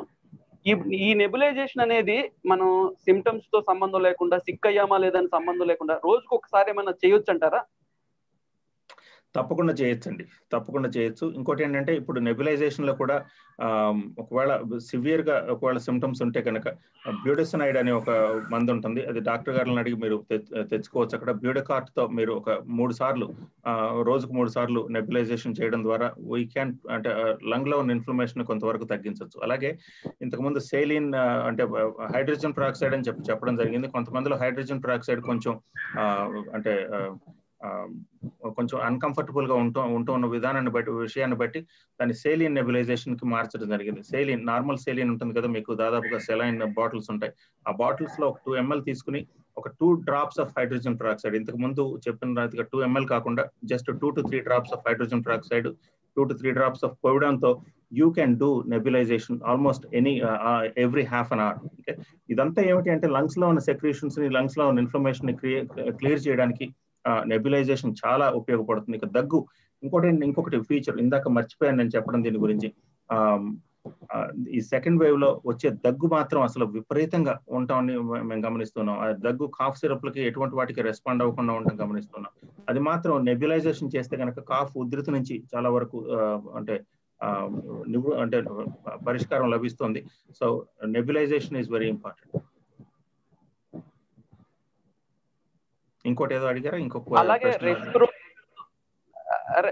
respirometer sir. రెస్పిరోమీటర్స్తో lungs exercise daily ఎలా చేయాలి? దానికి ఏమైనా సజెషన్స్ ఇస్తారా? తప్పకుండా. రెస్ప స్పెరోమీటర్ ఉంటే అది అదేంటంటే దాంట్లో ఒక ఒక మూడు బాల్స్ ఉంటాయి ఒక మూడు ట్యూబ్స్ ఉంటాయి. దాంట్లో ఇప్పుడు బ్రీతింగ్ అనేది చాలా ఇంపార్టెంట్. ఇప్పుడు రెస్పిరేటరీ డిస్ట్రెస్లో మనకి ఏమవుతుందంటే రెస్పిరేటరీ రేట్ పెరిగిపోతూ ఉంటుంది. అంటే షాలో బ్రీతింగ్ పెరుగుతుంది. ఈ లంగ్స్లో ఈ చిన్న చిన్న బ్రాంక్యూల్స్ ఇవన్నీ కూడా అంటే బ్లాక్ అయిపోతున్న క్రమంలో అంటే ఎక్కువ సార్లు హైపర్ వెంటిలేషన్ అంటాం లేకపోతే ఎక్కువ సార్లు రెస్ప్ అంటే శ్వాస తీసుకోవాల్సిన పరిస్థితి దీంట్లో కనబడుతుంది. కానీ దాన్ని ఎలా చేయొచ్చు అంటే దాన్ని ప్రాపర్గా ప్రాపర్గా మనం బ్రీతింగ్ ఎక్సర్సైజ్లు సరిగ్గా చేయడం ద్వారా ఎక్కువసేపు ఆ లంగ్స్ని ఓపెన్ చేసి ఉంచగలం. ఆ యొక్క ఆ ఏరియాస్ ఎక్కడెక్కడైతే ఈ గ్రౌండ్ గ్లాస్ ప్యాచ్ అపియరెన్స్ ఎక్కడైతే ఉంటుందో వాటిని అన్నింటినీ ప్రాపర్గా చేయగలం అనటంలో ఎలాంటి సందేహం లేదు. సో స్పెరోమీటర్ని సరిగ్గా యూజ్ చేయడం కూడా చాలా ఇంపార్టెంట్. సో బెలూన్స్ బ్లో చేయడం అదొకటి. Uh, లేకపోతే స్పెరోమీటర్ ఉంటే స్పెరోమీటర్ యూజ్ చేయడం అదొకటి. ఏమిటంటే ఒక నాలుగు సెకండ్లు డీప్ బ్రీత్ చేసి ఆ తర్వాత కొంతమంది ఏం చేస్తున్నారంటే ఒకటేసారి వదిలేసి ఆ బాల్స్ పైకి వెళ్ళి మళ్ళీ వెంటనే కిందకి పడిపోతున్నాయి. That is not the way to do it ఎలా చేయొచ్చు ఎలా చేయాలంటే ఒక బ్రీత్ ఇన్ చేసి ఒక ఫోర్ సెకండ్స్ బ్రీత్ ఇన్ చేసి we have to keep those balls up as long as possible మీరు ఒకటి ఒక బాల్ని ఒక బాల్ని పైకి ఉంచగలిగితే ఒక బాలే లేకపోతే రెండు ఉంచగలిగితే రెండు మూడు ఉంచగలిగితే మూడు. ఫోర్ సెకండ్స్ బ్రీతింగ్ చేసి ఒక టెన్ సెకండ్స్ వరకు ఈ బాల్స్ని పైకి ఉంచగలిగితే కనుక that is the proper way to use the respirator అటువంటి uh, రెస్పిరేటర్ యూస్లో వీ కెన్ సీ దాదాపుగా నైన్టీకి వచ్చిన uh, సాచురేషన్స్ కూడా uh, ప్రాపర్గా స్పెరోమీటర్ని సరిగ్గా యూజ్ చేయగలిగితే they do go up saturations will go up so చాలా ఇంపార్టెంట్ ఈ రెండు రెండు పాయింట్స్ కూడా. Thank you so much for asking thank you sir వీక్షకులు చాలా మంది యూట్యూబ్ లోను మరియు చాట్ బాక్స్ లోను అడుగుతున్నారు. డి త్రీ కే టూ యొక్క ఉపయోగాలు ఏంటి నెబులైజేషన్ ఎలా చేయాలి? ఇలాంటివి అడుగుతున్నారు. అవన్నీ డిస్కస్ చేయడానికి బహుశా అప్పుడు టైం సరిపోదు. మా ఫేస్బుక్ పేజ్ ఉంది తెమిలియోస్ వైజాగ్ అని. దానిలో మా ఫోన్ నెంబర్స్ కూడా ఉన్నాయి. మీరు ఎనీ టైం సంప్రదించవచ్చు. ఆ డీటెయిల్స్ అన్ని మీకు క్లియర్గా ఇవ్వడం జరుగుతుంది. ప్రస్తుతం అవన్నీ కూడా ముందు జరిగిన సెషన్స్లో డిస్కస్ చేశాం కాబట్టి ఇప్పుడు సమయాన్ని సద్వినియోగపరచుకోవడం కోసం అవి దాటి వెళ్ళిపోతున్నాం. నెంబర్స్ చక్కగా తీసుకోండి. మీరు ఎనీ టైం మాకు కాల్ చేయొచ్చు మెసేజ్ చేయొచ్చు వాట్సాప్ చేయొచ్చు ఫేస్బుక్ మెసెంజర్లో కూడా మమ్మల్ని సంప్రదించవచ్చు. ఆ విషయాలన్నీ కూడా మేము మీతో పంచుకోవడానికి ఇష్టపడుతున్నాం. కూడా ఎప్పటికప్పుడు మనకు అందుబాటులో ఉంటూ మనకు గైడ్ చేస్తున్నారు. దయచేసి అవి గమనించండి. మిగిలిన కార్యక్రమంలో ముందుకు వెళ్ళడానికి నేను ఈ సమయాన్ని విక్రమానికి అందజేస్తున్నాను. ఇంకొక విషయం తెమిలియోస్ యూట్యూబ్లోని తర్వాత ఫేస్బుక్లో సబ్స్క్రైబ్ చేయడం మర్చిపోకండి. ఆ విధంగా మీరు సబ్స్క్రైబ్ చేయగలిగితే కనుక అటు బిబ్లికల్ టీచింగ్స్ కానీ ఇలాంటి మరి హెల్త్ సెమినార్స్ కానీ మీకు అందుబాటులో ఉంటాయి. మీకు నోటిఫికేషన్స్ వస్తాయి. Over to Anil Vikram Vikram sorry so brother కొన్ని క్రిటికల్ కండిషన్లో మీరు ఒక ఇంజెక్షన్ని రికమెండ్ చేస్తున్నారు కదా. విటమిన్ డి త్రీ ఇంజెక్షన్ పారాచిటల్ సిక్స్ ల్యాక్స్ సో దాని గురించి కొద్దిగా ఎక్స్ప్లెయిన్ చేస్తూ దాని ఉపయోగాలు ఏంటి? యూసేజ్ ఎలా తీసుకోవాలి? ఎలాంటి కండిషన్లో తీసుకోవాలి? కొద్దిగా వివరిస్తే బాగుంటుందని ఓకే యా ఇంతకు ముందు వరకు మనం చెప్పింది అన్ని కూడా sixty thousand unit vitamin D three capsules గురించి మనం డిస్కస్ చేసాం. అలాగే ఇంకోటి ఇంకొక నిజంగా ఇండియాలో ఇట్ ఈస్ అ బ్లెస్సింగ్ ఈ vitamin D is available in in various forms దాంట్లో ఒక ఫార్మ్ అరాకిటాల్ సిక్స్ ఎల్. అది ఇంట్రామస్క్యులర్ ఇంజెక్షన్ అది.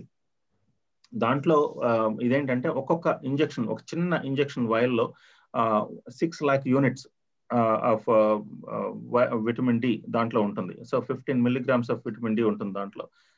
సిక్స్ లాక్ యూనిట్స్ని అంటే ఇది ఏంటంటే కాన్సన్ట్రేటెడ్ ఫామ్లో ఉంటుంది కాబట్టి లేకపోతే ఒకవేళ పేషెంట్ కొంచెం క్విక్గా ఫెయిల్ అవుతుంటే లేకపోతే సాచురేషన్స్ క్విక్గా డ్రాప్ అవుతుంటే కనుక దాన్ని వెంటనే దాన్ని అరాకిటాల్ సిక్స్ ఎల్ దాన్ని ఓపెన్ చేసి పది టాబ్లెట్స్ లేకపోతే క్యాప్సూల్స్ మింగే బదులు ఆ అరాకిటాల్ సిక్స్ దాన్ని ఓపెన్ చేసి ఒక పాలలో కలిపి కొంచెం పాలలో కలిపి దాన్ని తాగేస్తే కనుక ఓకే దట్ కెన్ ఒక సివియర్గా లంగ్స్లో సివియర్గా ఏఆర్డిఎస్ అంటే అంటే అక్యూట్ రెస్పిరేటరీ డిస్ట్రెస్ సిండ్రోమ్ ఉన్న సమయంలో if we can administer that that can halt that process and uh, start uh, start the process of recovery or protect the viable tissue ఎంత ఒకవేళ లంగ్లో ఇంకా ఎఫెక్ట్ అవ్వని లేకపోతే ఇన్ఫెక్ట్ అవ్వని టిష్యూ ఏదైనా ఉంటే కనుక దాన్ని వైటమిన్ డి ప్రొటెక్ట్ చేస్తుంది. సో అరాకిటాల్ సిక్స్ అనేది ఇంకొక అద్భుతమైన టూల్ అది. సో ఇంకో సెకండ్ థింగ్ ఏంటంటే ఒకవేళ కొంతమంది పేషెంట్స్ ఒక మాస్క్ మీద ఉండి లేకపోతే బైపాప్ మీద ఉండి దాన్ని ఒక నోరు అంటే వాళ్ళు మాస్క్ తీసివేయాలని పరిస్థితిలో ఉంటే కనుక దాన్ని ఇంజెక్షన్ని అరాకిటల్ సిక్స్ అది ఇంజెక్షన్ లాగా ఇంట్రామాస్కులర్ ఇంజెక్షన్ లాగా ఇవ్వచ్చు వాళ్ళకి. ఇస్తే కొంతమందిలో చాలా క్విక్గా రిజల్ట్స్ మనం చూడగలిగాం. సో దాన్ని బట్టి అంటే అరాకిటాల్ సిక్స్ అనేది we can that is a very versatile way of administering vitamin D అని మనం చెప్పుకోవచ్చు. ఇప్పుడు టూ వేస్ పాసిబుల్ వెయిన్కి ఇంజెక్షన్ ఇవ్వడం లేకపోతే డైరెక్ట్గా స్వాలో చేయడం. ఏది ప్రిఫర్ చేయమంటారు? యా వెయిన్కి కొంతమంది దాదాపుగా ఓరల్ అడ్మినిస్ట్రేషన్ ఇంతవరకు మనం ప్రిఫర్ చేస్తూ వచ్చాం. కానీ కొంతమందిలో చాలా సివియర్ డిస్ట్రెస్లో ఉన్న పేషెంట్స్ లేకపోతే వెంటిలేటర్ మీద ఉన్న పేషెంట్స్ లేకపోతే వాళ్ళకి ఓరల్గా మనం ఇవ్వలేనప్పుడు లేకపోతే ఇప్పుడు వెంటిలేటర్ మీద ఉండి రాయల్స్ ట్యూబ్ ఉంటే కనుక ట్యూబ్లో నుంచి మనం అడ్మినిస్టర్ చేయొచ్చు. ఓరల్ అడ్మినిస్ట్రేషన్ చాలా కన్సిస్టెంట్గా ప్రెడిక్టబుల్ రిజల్ట్స్ మనకి ఇస్తుంది కానీ ఒకవేళ అటువంటి అటు- అటువంటి యాక్సెస్ లేనప్పుడు మనం తప్పకుండా vitamin D three six lakh units injection లాగా ఇంట్రామస్కులర్ ఇంజెక్షన్ లాగా ఇవ్వచ్చు. అలాగే ప్రతి హాస్పిటల్లో హైదరాబాద్లో ప్రతి హాస్పిటల్లో కూడా క్రిటికల్గా ఉన్న పేషెంట్స్లో వీళ్ళు విటమిన్ డి ఐఎం ఇవ్వడం జరుగుతుంది అక్కడ. సిక్స్ లాక్ అరాకిటాల్ సిక్స్ ఇవ్వడం జరుగుతుంది. విచిత్రం ఏంటంటే వాళ్ళు క్రిటికల్ అయ్యిందాక ఆగిస్తున్నారు. వాళ్ళు వాళ్ళు క్రిటికల్ కాకముందే ఇస్తే కనుక ఇంకా మంచి ఫలితాలు చూస్తారు అంటంలో ఎలాంటి సందేహం నాకు లేదు. ఒక నిన్న ఒక హాస్పిటల్తో మాట్లాడుతున్నప్పుడు హాస్పిటల్లో ఆ క్రిటికల్ పేషెంట్స్కి తప్పకుండా ఇస్తాము సిక్స్ అని చెప్పి. నేను చెప్పాను క్రిటికల్ అయ్యే ముందే ఇవ్వండి మీరు అని చెప్పి అడిగితే so they are considering any age limit ఈ వయసు వాళ్ళకి ఇవ్వాలి అని ఏమైనా ఏజ్ లిమిట్ ఉందా? ఏజ్ లిమిట్ అంటే దాదాపుగా అడల్ట్స్ అయితే కనుక ఎవరికైనా ఇవ్వచ్చు. చిన్నపిల్లల్లో కూడా వాళ్ళ అంటే దాదాపుగా చిన్నపిల్లల్లో మనం ఓవరాల్గా అడ్మినిస్టర్ చే అంటే చిన్నపిల్లల్లో ఇంత సివియర్ డిసీజ్ కి వెళ్ళే అవకాశం చాలా తక్కువ. సో కాబట్టి వాళ్ళకి జస్ట్ ఓరల్గా ఇవ్వాల్సిన క్యాప్సూల్స్ టాబ్లెట్స్ లేకపోతే సిరప్లో వాళ్ళకి ఇవ్వచ్చు. కానీ దీనికి మాత్రం ఏజ్ లిమిట్ ఎలాంటిది లేదు. Vitamin D okay okay. So మన మధ్యన డాక్టర్ విజయ్ గడ్డం గారు ఉన్నారు కదా. సో మీ రికమెండేషన్తో ఆయన రీసెంట్గా కొంతమంది పేషెంట్స్కి వర్క్ చేశారు సో ఇంజెక్షన్ ఇవ్వడం ద్వారా. So I think whether Vijay I want Vijay Gaddam to share his experience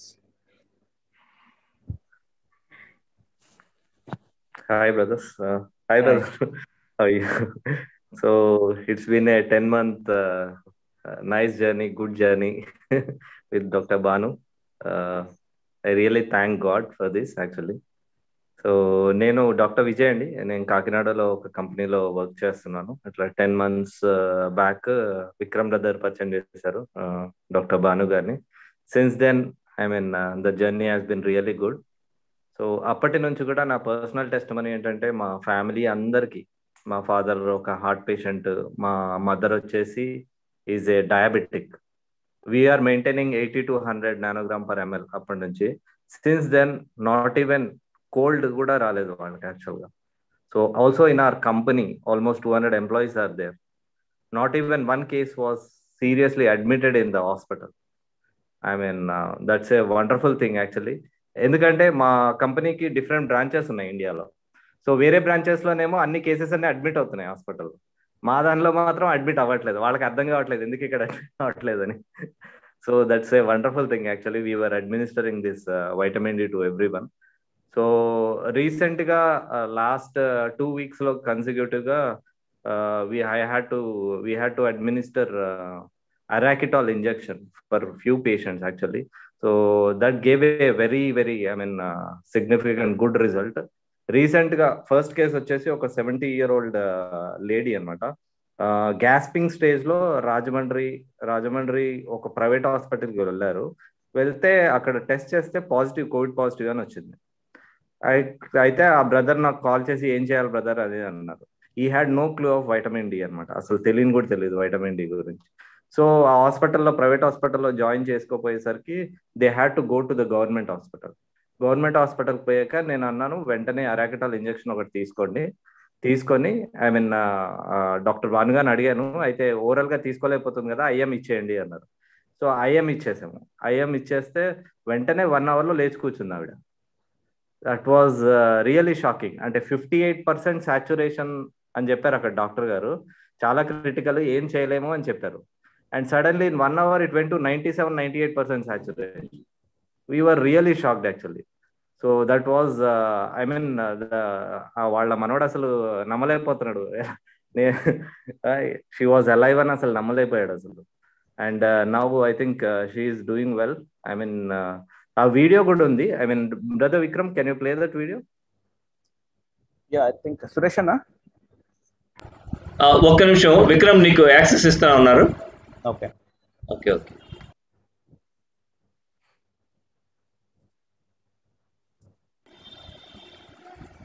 right.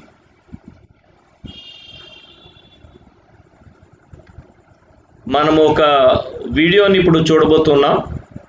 ఆ వీడియోలోని ప్రాణాపాయంలో ఉన్న ఒక బాగా ఓల్డ్ లేడీ ఏ విధంగా అయితే చక్కగా మరి ఆ ఇంజెక్షన్ ఎమర్జెన్సీలో ఇవ్వడం వల్ల ఏం జరిగింది అనేది ఏ ఆ యొక్క వ్యక్తి ఏ విధంగా దాని నుంచి బయటపడింది అనేది ఆ యొక్క భయంకరమైన పాండమిక్ లేకపోతే క్రిటికల్ సిచ్యువేషన్లోని ఈ విటమిన్ డి త్రీ ఇంజెక్షన్ ఏ విధంగా పనిచేసింది అనేది మనకు ఒక స్ట్రైట్ లేకపోతే లైవ్ ఎగ్జాంపుల్ ఒకటి ఉంది.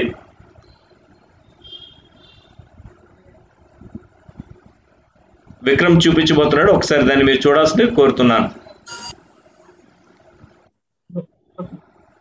This is the stage and యాక్చువల్గా where she came to the hospital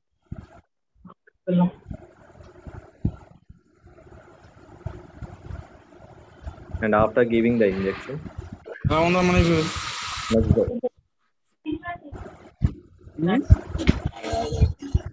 బాగుందా? కింద కొద్దిగా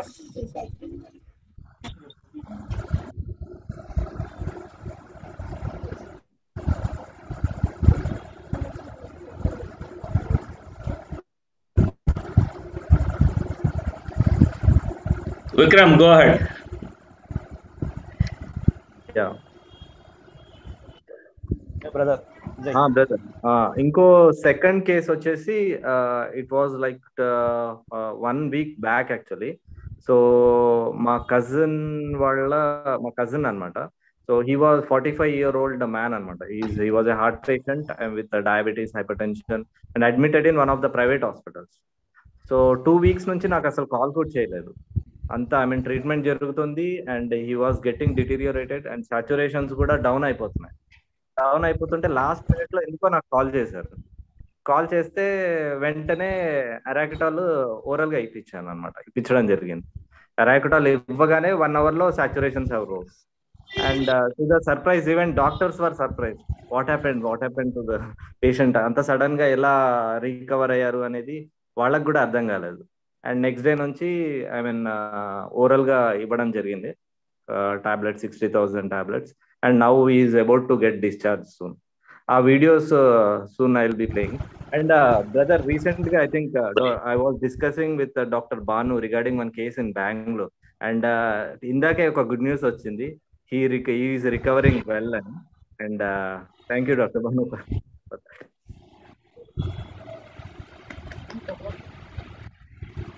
Vikram, go ahead, Vikram, go ahead. We have less time.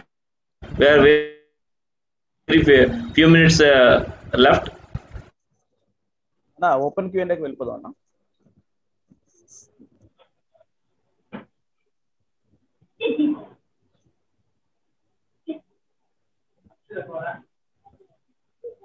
Hello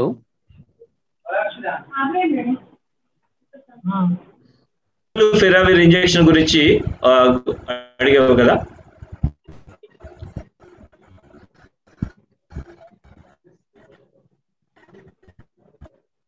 doctor hello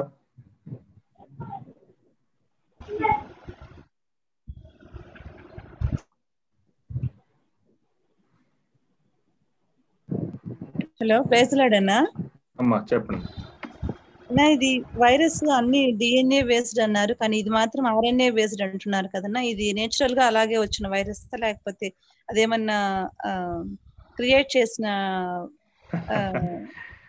virus లేకపోతే ఏంటన్నా అది no there are DNA viruses and there are RNA viruses RNA వైరస్లో ఉన్నాయి DNA వైరస్లో ఉన్నాయి. So ఇది create చేసిందా లేకపోతే ఏమన్నా మ్యానిపులేట్ చేసిందా అనేది కాలమే నిర్ణయించాలి. We don't know and I don't want speculate at this point so RNA వైరస్లు ఉన్నాయి. మన మనకి ఇంతకు ముందు మన మన ఇన్ఫెక్ట్ చేసే వైరస్లు ఆర్ఎన్ఏ వైరస్లు కూడా ఉన్నాయి. ఇది కూడా ఏదో ఆ కోవలోకి చెందింది. తర్వాత- దయచేసి ఒక ప్రశ్న ఒకసారి అడగడానికి ప్రయత్నం చేయండి. తర్వాత రమణ మిగడ. బ్రదర్ మీ ప్రశ్న మీరు అడగండి. Praise lord brother. Doctor praise చెప్పండి. రమణ గారు చెప్పండి. చెప్పండి. ఈ కరోనా వైరస్ అనేది నైన్టీన్ సిక్స్టీ ఫైవ్ నుంచి ఉండి సార్స్గా మెర్స్గా రకరకాల ఫామ్స్లో అది వచ్చినప్పటికీ ఈ టూ థౌజండ్ నైన్టీన్కి వచ్చి కరోనా నోవల్ కరోనా వైరస్గా వ్యాప్తి చెందడానికి ప్రపంచవ్యాప్తంగా ఇంత ఉధృతి రావడానికి అంటే ఇంతకుముందు వచ్చినవి కూడా కొన్ని దేశాలకే పరిమితం అయ్యాయి కొన్ని ప్రాంతాలకి కొంతమందికే బలి తీసుకుంది. వేరే ఇప్పుడు ఆల్మోస్ట్ వరల్డ్లో ఉన్నటువంటి చాలా కంట్రీస్కి అది పాకడానికి ముఖ్యంగా భారతదేశంలో ఈ విజృంభించడానికి గల కారణము దానికి ప్రివెన్షన్ గురించి చెప్తారని ప్రశ్న వేస్తూ ఒక్క విషయం ఎఫ్ఎం చేసి నేను నా ప్రశ్న ముగిస్తాను.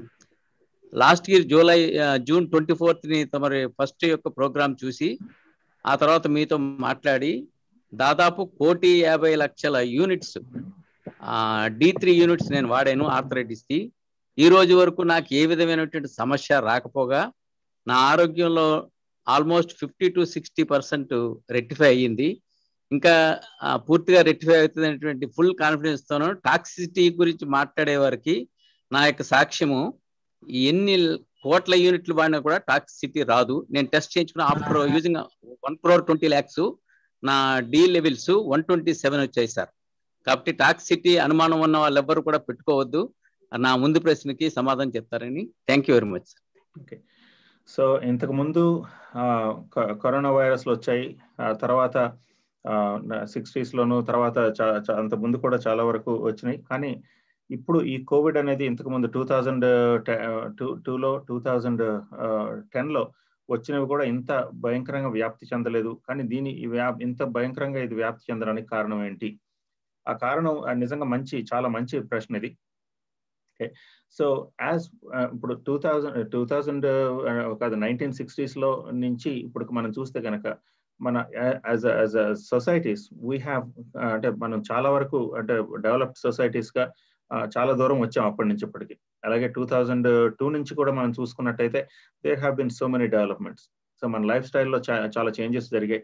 ఇప్పుడు నైన్టీన్ సిక్స్టీస్లో సొసైటీస్లో ఆ, చాలా వరకు మనం అంటే మనం చూస్తే వ్యవసాయ ఆధారితమైన రా దేశంగా మనం అంటే మన దేశం ఉండింది అప్పట్లో. సెవెంటీస్లో సిక్స్టీస్లో సెవెంటీస్లో పొలానికి వెళ్ళి పని చేసుకునే వాళ్ళు లేకపోతే అప్పట్లో అగ్రికల్చరల్ కెమికల్స్ అనేవి లేకపోతే ఇంత ఎక్కువగా ఉధృతంగా మనకి అందుబాటులోకి రాలేదు. సో పోషక విలువల్లో ఆహారంలోని పోషక విలువల్లో అప్పటి నుంచి ఇప్పటికీ చాలా తేడాలు సంభవించినాయి అంటంలో ఎలాంటి సందేహం లేదు. సో ఇంకొకటి వేరే వేరే దేశాలను కనుక మనం చూసినట్లయితే మీకు ఆస్ట్రేలియాని చూస్తే లేకపోతే సౌత్ ఆఫ్రికాని చూస్తే లేకపోతే అమెరికాని చూస్తే యూరోపియన్ కంట్రీస్ని చూస్తే కనుక ఈ కంట్రీస్లో కూడా డిఫరెంట్ పాపులేషన్ గ్రూప్స్ని డిఫరెంట్గా ఇది ఎఫెక్ట్ చేసింది అనడంలో ఎలాంటి సందేహం లేదు. కొన్ని కంట్రీస్లో ఇలాగ స్వీడన్లో లేకపోతే స్కాండినేవియన్ కంట్రీస్లో ఈ యొక్క డిసీజ్ యొక్క ఉధృతి అంత అంత- అంత లేదు అని చెప్పి మనం స్పష్టంగా చెప్పుకోవచ్చు. వాళ్ళ డైట్ను మనం పరిశీలించినట్లయితే వాళ్ళు ఈ ఫిష్ ఫిష్ ఆయిల్స్ని ఎక్కువ వాడతారు లేకపోతే కోల్డ్ వాటర్ ఫిష్ని ఎక్కువ వాడతారు. కోల్డ్ వాటర్ ఫిష్లో ఉండే ఫీచర్ ఏమిటి అంటే కార్డ్ లివర్ ఆయిల్ అంటాం. చిన్నప్పుడు మన అందరికి ఎంత తాగడానికి ఇష్టం లేకపోయినా తాగి తాగించిన సందర్భాలు అంటే ఆ వాసనను బట్టి తాగడానికి ఇష్టం లేకపోయినా తాగించిన అంటే ప్రతి ఒక్కరూ మనందరం దాన్ని అన్ప్లెజెంట్ టేస్ట్ని మనం మనకు గుర్తుండే ఉంటుంది. అంటే ఏంటంటే నా ఏజ్ గ్రూప్లో ఉన్న వాళ్ళకి గుర్తుండి ఉంటుంది అది. సో వీళ్ళు కార్డ్ అంటే కార్డ్ ఫిష్ని లేకపోతే కోల్డ్ వాటర్ ఫిష్ని వీళ్ళు ఎక్కువ తీసుకోవడం ద్వారా వాళ్ళ విటమిన్ డి స్థాయిలు కొంచెం ఎక్కువ ఉంటాన్ని బట్టి వాళ్ళ న్యూట్రిషనల్ స్టాటస్ కొంచెం ఎక్కువగా ఉంటాన్ని బట్టి వాళ్ళ ఇమ్యూన్ ఫంక్షన్ బాగుంది అనేది మనం నిర్ధారించవచ్చు సో ఇది వైరస్ యొక్క ప్రభావమా లేకపోతే వైరస్ భయంకరమైందా లేకపోతే వైరస్ దాని స్ప్రెడ్ పొటెన్షియల్ ఎక్కువ ఉందా అని ఆలోచించే కంటే ఈ డిఫరెంట్ పాపులేషన్ గ్రూప్స్లో మన న్యూట్రిషనల్ స్టాటస్ ఎలా ఉంది లేకపోతే మన మెటబాలిక్ ఫంక్షన్ ఎలా ఉంది మన కెమికల్ ఎక్స్పోజర్ ఎలా ఉంది మన మనం ఎటువంటి వాటికి ఎటువంటి ఆహారాన్ని మనం తీసుకుంటున్నాము లేకపోతే మన మన దైనందిన అంటే కార్యక్రమాల్లో మనం ఎండలకు వెళ్తున్నామా లేకపోతే మనం ఇవన్నీ కూడా ఇవన్నీ ఆలోచిస్తే రమణ గారు ఆ దాంట్లో మనం ప్రతి ఈ యొక్క ప్రతి పారామీటర్ లోను లేకపోతే ప్రతి aspect of this question that I raised వీటన్నిటిలో మన లైఫ్ స్టైల్ చాలా విపరీతంగా అంటే చాలా మారిపోయింది అంటే ఎలాంటి సందేహం లేదు. సో ఇది వైరస్ బలపడిందా అనే దానికంటే మన మన మనం వీక్ చేసుకున్నామా అనే పర్స్పెక్టివ్లో అనే దృక్కోణంలో ఆలోచిస్తే కనుక I think we will get the correct answer. That is we are nutritionally deficient. We are uh, we have put ourselves in a lot of danger. మన life style one sedentary life style ఒకటి మన chemical exposure agricultural chemicals are rampant కలుపు మందులు rampant and కలుపు మందులు metabolic dysfunction cause చేస్తాయి అనడం అనేది uh, జగవెనిగిన సత్యం. ఇప్పుడు కొన్ని కంట్రీస్ దాదాపు ఈ గ్లైఫోసేట్ రౌండ్ అప్ని బ్యాన్ చేసాయి శ్రీలంక బ్యాన్ చేసింది. Uh, యూరోపియన్ కంట్రీస్లో కొన్ని చాలా కంట్రీస్ బ్యాన్ చేసాయి కానీ మన ఇండియాలో ఇది చాలా విస్తృతంగా మనం వాడుతూ ఉన్నాం. సో దాన్ని బట్టి అదొక దానికి సింపుల్ ఆన్సర్ ఏమిటి అంటే ఇక వైరస్ కంటే ముఖ్యంగా మన ఇమ్యూన్ సిస్టమ్ లేకపోతే మన యొక్క అంటే మన న్యూట్రిషనల్ స్టాటస్ చేంజ్ అయింది కాబట్టే ఇంత పాండమిక్ ఇంత భయంకరంగా విస్తరి విస్తరించింది అని నా అభిప్రాయం. ఇక ఇదొకటే కాదు రాబోయే కాలంలో కూడా if we do not correct our cells we do not pay attention to what we మనం సరిగ్గా మన ఆహారపు అలవాట్లని లేకపోతే మన జీవిత అలవాట్లని సరిగ్గా మార్చుకోకపోతే కనుక I think we may be in for bigger surprises in the days to come మనము నెక్స్ట్ క్వశ్చన్ నిస్సీ జాన్ గారు యాక్చువల్గా క్వశ్చన్ కాదు నెక్స్ట్ ప్రజెంట్ ఇచ్చిన ప్రజెంటేషన్ ఉంది. నిస్సీ జాన్ గారికి వెళ్ళే ముందు మధుమార్క్ ఫ్రమ్ గుజరాత్ ఈయన ఇప్పుడు అంటే ఈ ఆన్లైన్ అందరూ చేయెత్తారు కానీ ఈయన వారం రోజులు బట్టి చేయెత్తే ఉన్నాడండి. కాబట్టి ఆయనకి మధుమార్క్ ఇస్తున్నాను. Madhu Mark from Gujarat Bharuch Gujarat. Madhu you can ask your question నా అన్న థ్యాంక్ యూ అన్న. Good evening good morning doctor Bhanu గారు. I got actually I got plenty of questions యాక్చువల్గా and but I will be not asking all those మాకు గుజరాతీలో ఒక programme మీరు కూడా చేయడానికి we want one opportunity from your side that's one thing and actual question ఇక్కడ నన్ను చాలా మంది అడుగుతున్న క్వశ్చన్ ఏంటంటే వెన్ యు ఆర్ సో ఆథరైజ్డ్గా చెప్పగలుగుతున్నప్పుడు why can't you go for అందరికీ అంటే త్రూ అవుట్ ఇండియాకి ఆథరైజ్డ్గా తీసుకోవడానికి ఎందుకు లైసెన్స్ తీసుకోవడానికి అవ్వట్లేదు? And because when I talk with many people they side ఇలాంటివి తెలిస్తే ఎవరికైనా మేము అక్కడ యుఎస్ కెమిస్ట్కి డ్రగ్ డ్రగ్స్కి కంప్లైంట్ చేస్తే ఈ విల్ లూజ్ హిస్ జాబ్ అన్నట్టు మాట్లాడుతున్నారు. So for this what what I can answer to this hyper vitamin D three program so మంచి చాలా మంచి ఆలోచనలు ఆలోచిస్తున్నారు జనాలు అందరూ చాలా మంచిదే. ఇప్పుడు మనం ఆలోచించాల్సింది ఏంటంటే ఎంతమంది లైఫ్లను సేవ్ చేయగలం ఎంతమంది లైఫ్లను సేవ్ చేయాలి అని చెప్పి ఆలోచించాలి. ఏదో ఏదో వీటన్నిటిని అనవసరమైన భయాలను పెట్టుకుని ఇప్పుడు see as a pharmacist as a clinical pharmacist with this is in proper అంటే సప్లిమెంటేషన్ లేకపోతే ఈ న్యూట్రిషన్ సప్లిమెంట్స్ గురించి uh, జనాలకి చెప్పాల్సిన బాధ్యత నా మీద ఉంది. It is it is my responsibility and also ఇప్పుడు లైసెన్స్ ఎందుకు తీసుకోకూడదు అనే విషయాన్ని ఆలోచిస్తే కనుక if are medical literature is steeped in అంటే దాదాపుగా లాస్ట్ ఫార్టీ ప్లస్ ఇయర్స్ నుంచి ఫార్టీ ప్లస్ ఇయర్స్ ఎగో ఉన్న ఒక అవుట్డేటెడ్ విటమిన్ డి ఇన్ఫర్మేషన్ గురించి విటమిన్ డి టాక్సిసిటీ గురించి uh, uh, uh, అంటే ఉన్న ఉన్న ఇన్ఫర్మేషన్ మీద మనం మోడర్న్ టైమ్స్లో మన వైటమిన్ డి రిక్వైర్మెంట్స్ ఎలా మారినాయి అనేది ఆలోచించకుండా ఒక నలభై యాభై సంవత్సరాల క్రితం మెడికల్ లిటరేచర్ మీద ఆధారపడి ఇప్పుడు అది టాక్సిక్ కాబట్టి మనం వాడకూడదు అనే మాట అనేది మనకి చా- చాలా ఆ, చాలా భయంకరమైన మాట అండి ఇప్పుడు if we can apply this solution and save lives I think we should we should do that we must do that that is our responsibility uh, as as uh, as medical professionals and as humanity that is our responsibility okay ఇంకొకటి science exists for to serve humans Okay. ఇప్పుడు science అనేది ఇప్పుడు మన లేకపోతే మొత్తం మన సైంటిస్టులు అందరూ ఈ సైంటిఫిక్ ప్రాసెస్ని ప్రిజర్వ్ చేయడానికి మన లైఫ్ పణంగా పెట్టాల్సిన అవసరం లేదండి. Okay. Science is a tool to serve humanity. Okay. That is have it is intended and that is have God intended. మొత్తం ఈ నాలెడ్జ్ అంతా కూడా it it has to in serve to to cause or to cause less suffering or to is the suffering and pain. Of of అది మొదటి నుంచి అలాగే వస్తూ వచ్చింది. కానీ ఈ మధ్య కాలంలో లేకపోతే గత అరవై ఐదు అరవై ఐదు సంవత్సరాలుగా యాభై సంవత్సరాలుగా మనకు మనం పెట్టుకున్న ఈ ఈ double blind placebo control studies లేకపోతే ర్యాండమైజ్ కంట్రోల్ ట్రయల్స్ ఇవన్నీ మంచివే. ఇవన్నీ వండర్ఫుల్ దే ఆర్ వండర్ఫుల్ కానీ ప్రాబ్లం ఏంటంటే ఆ paradigm is going to break down has broken down already in in a pandemic like corona virus ఈ corona virus moves so quickly ఈ randomise control trial trials చేసి లేకపోతే ప- పరిశోధన పత్రాలని రాసుకుని ఇవన్నీ కూడా చే- చేయొచ్చు. తర్వాత you know let save lives first let save lives first and then then then go yeah uh, go, go towards uh, the addressing all this uh, you know, vi- vitamin D toxicity. Vitamin D toxicity అనేది um, uh, even there is there are scientific papers నేను ఆ కొత్తగా publish చేయాల్సిన అవసరం ఏమి లేదు ఇక- ఇక్కడ మన దీని పేరేంటి మన మేయో క్లినిక్ వాళ్ళు పబ్లిష్ చేసిన ఒక జర్నల్లో టూ థౌజండ్ ఫిఫ్టీన్లో they have concluded that vitamin D is not as toxic as once we uh, as we once thought okay most of the vitamin d studies are done with vitamin d2 not vitamin D3. So vitamin D2 can become toxic. Vitamin D2 is not properly converted in the liver. So ivanni Nikoda, see what we are saying is not, you know, is not out of uh, the, uh, the, uh, the, uh, the realm of science. Everything what, what we say is, is, has basis in science. Vitamin D's potential to modulate the immune system. It is scientific, it is proven Vitamin D's um, uh, role in uh, controlling and uh, the cytokine storm and uh, modulating the im- this all these inflammatory pa- inflammatory markers. It is well known. It is scientific. Okay? It is uh, and what is not science. What is ఇప్పుడు మనం remdesivir ని ఇంత ఉధృతంగా వాడుతున్నాం మనం ఇప్పుడు critical patients లో remdesivir ని వాడుతున్నాం ఈవెన్ నెగిటివ్ వచ్చిన పేషెంట్స్ లో కూడా రెమ్డెసివిర్ ని వాడుతున్నాం నెగిటివ్ అంటే వైరస్ నెగిటివ్ గా వచ్చిన ఐజీజీ యాంటీబాడీస్ డెవలప్ అయిన పేషెంట్స్ లో కూడా రెమ్డెసివిర్ ని వాడుతున్నాం you know what that is not scientific so తర్వాత చెప్పండి. Okay doctor. కొంచెం త్వరగా వెళ్తాం మనము రెండు రాష్ట్రాల్లోని ఈ గొంతు ఎప్పుడు వింటా ఉంటాం? నిస్సీ జాన్ గారి గొంతు. ఆ గొంతు నుంచి పాటే ఉంటాం కానీ ఇప్పుడు ఆ గొంతులో నుంచి ఒక మాట కూడా వినాలని ఆశపడుతున్నాం. తమ్ముడు Nissi John over to you Nissi John? Okay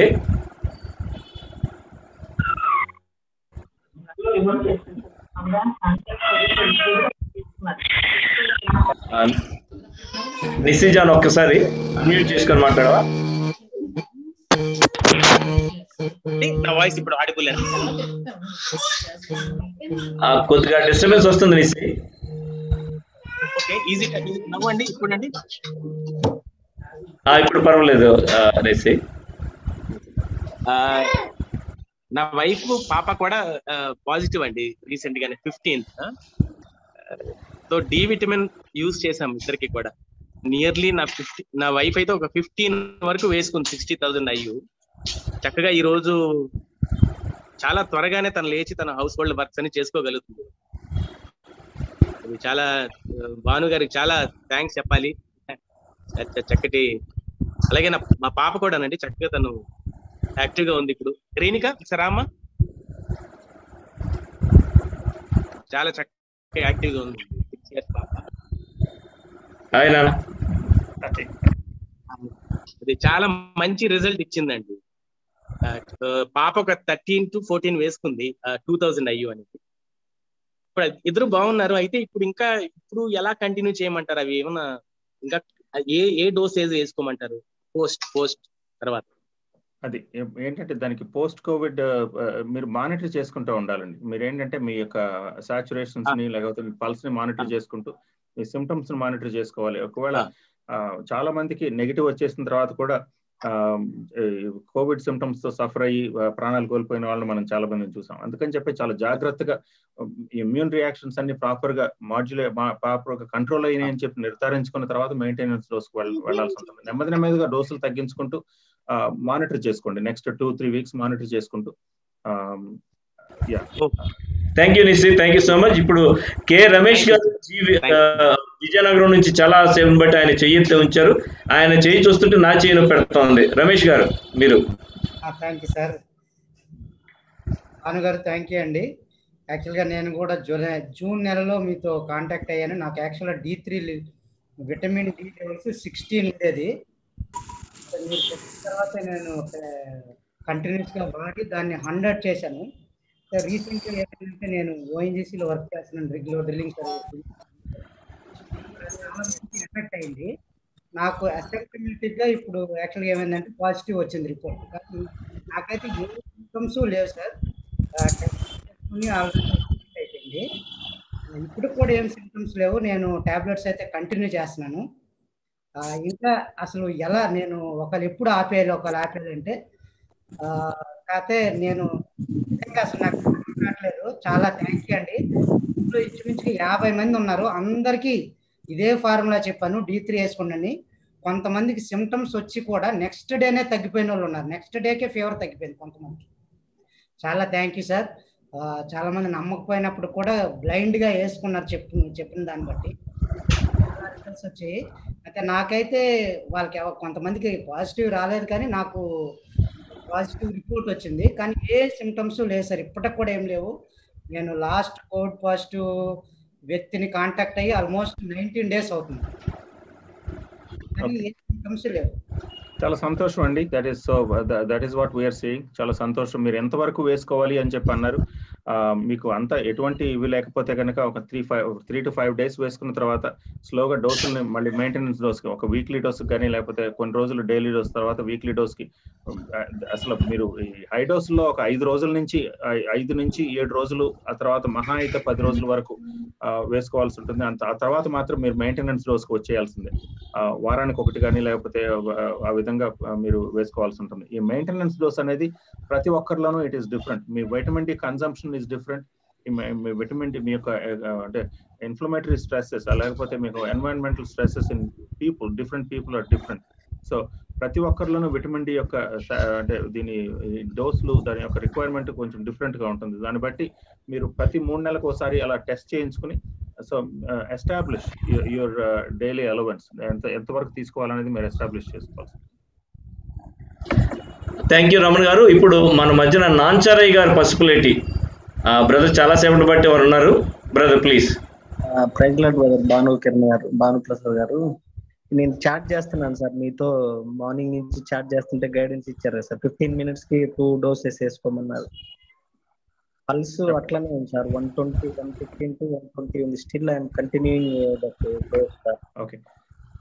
ఈ స్పెసిఫిక్ క్వశ్చన్స్ని మనం ఆఫ్లైన్లో మాట్లాడదామండి. అది బెటర్ అండి. ఏంటంటే మనం this forum is to promote the understanding అంటే overall understanding of this disease and overall understanding of the solution దాని అంటే స్పెసిఫిక్ క్వశ్చన్స్ని మనం ఆఫ్లైన్లో మాట్లాడదాం. తర్వాత మురళీకృష్ణ గారు.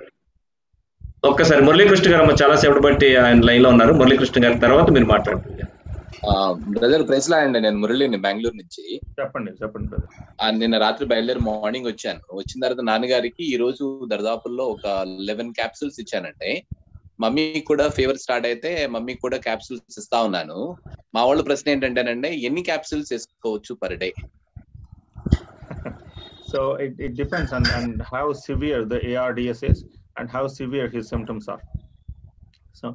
ఎన్ని క్యాప్సూల్స్ వేసుకోవచ్చు అనేది ఒక అంటే ఒక క్వాంటిటీ అనేది క్వాంటిటేటివ్గా మనం చెప్పడానికి కుదరదండి. సో మీరు అంటే పీరియాడిక్గా మీరు పల్స్ అంటే పల్స్ చేస్తూ ఈ డోస్ని ఇస్తూ ఉంటే వాళ్ళ అంటే వాళ్ళ లెవెల్స్ అంటే మీరు వాళ్ళ పల్స్ నేను వాళ్ళ లేకపోతే వాళ్ళ ఎస్పీఓటుని అంటే సాచురేషన్ మానిటర్ చేసుకుంటూ ప్రాపర్గా డోసింగ్ ఇస్తే కనుక ఈ యాక్టివ్ ఫార్మ్ ఆఫ్ అంటే active phase of this ఇల్నెస్లో you have to give these doses there is no other tool to to to control this so active phase of this ఇల్నెస్ని కనుక మనం పేషెంట్ని క్షేమంగా దాటించగలిగితే ఆ, తర్వాత we can bring down this doses అండి. So అది ఒకళ్ళకి అంటే ఇన్- ఇన్ని అని చెప్పి చెప్పడానికి కుదరదు. మీరు మీకు మీరుగా what I'm giving you is and the, factual basis for, uh, for what, what this disease is and what the solution is possible solution is దాన్ని ప్రతి ఒక్కరు you need to monitor your your, your own uh, uh, the loved ones and you need to uh, apply this tool uh, properly తర్వాత అండి ఇప్పుడు మామూలుగా heart patients కానీ తర్వాత brain patients కానీ కూడా విటమిన్ డి త్రీ ని కంపల్సరీ వాడొచ్చు అండి తప్పకుండా అండి. దేంట్లో దాంట్లో ఒకవేళ there are no contraindications ఇప్పుడు హార్ట్ వాళ్ళకి లేకపోతే అంటే బ్రెయిన్ బ్రెయిన్ పేషెంట్స్కి తప్ప అంటే అంటే వాడచ్చు. న్యూరలాజికల్ సిమ్టమ్స్ ఉన్న వాళ్ళకి కూడా ఇది వాడచ్చు అండి vitamin D deficiency is implicated in every every disease so దీన్ని తప్పకుండా వాడచ్చు. థ్యాంక్ యూ అండి. Thank you Ruth sister Ruth మాట్లాడండి అన్న ఇప్పుడు ఈ డి త్రీ వేసుకోవడం వల్ల ఇమ్యూనిటీ పెరుగుతా ఉంటే నేచురల్గా బాడీలో ఇమ్యూనిటీ పెరిగే ఆ కెపాసిటీ ఏమైనా చేంజెస్ వస్తుందన్న? అలాగే ఇంకొకటి అన్న మా హస్బెండ్కి లివర్ యాప్సెస్ వచ్చి తగ్గింది. తను ఇలాగే వాడచ్చు అన్న course? Okay.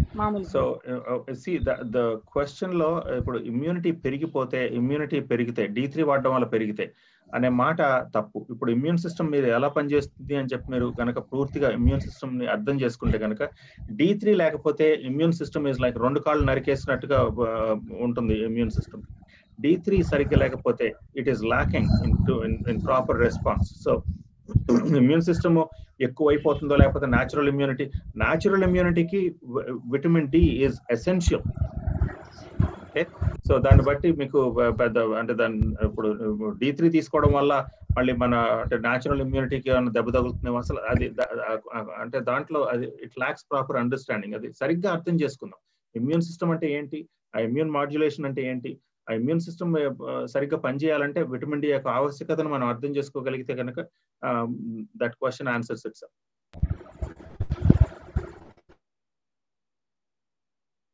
system అంటే ఇన్సులిన్ లాంటిది కాదు అని తెలుసుకోవాలి. ఏమండి? దానికి మనం రెసిస్ట్ అయిపోతాం అనుకోవడానికి. ఎస్ నెక్స్ట్ రంజిత్ ఆ, మీరు హ్యాండ్స్ రైజ్ చేసి మాట్లాడండి. Hello thank you thank you అన్న.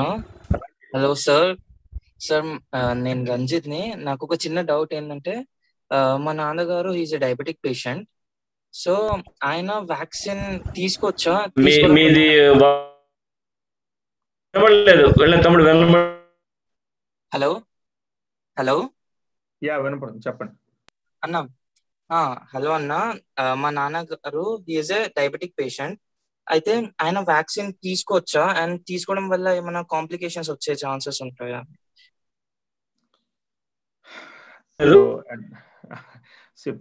వ్యాక్సిన్ తీసుకోవచ్చా అనే ప్రశ్న అడిగితే నన్- నాకు ఆ ప్రశ్నకి సమాధానం నేను ఆ, అంటే డైరెక్ట్గా మీరు తీసుకోండి తీసుకోవద్దు అని నేను చెప్పను చెప్పలేను.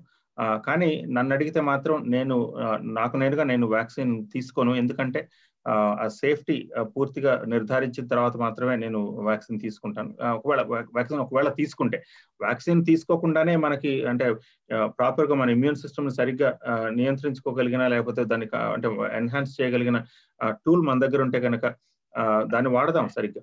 సో దాన్ని బట్టి నన్ను అడిగితే మాత్రం నేను నేను నాకు నేనుగా వ్యాక్సిన్ తీసుకోను ఇప్పుడు ఈ టైంలో మాత్రం. Okay. Thank you sir. Thank you very much.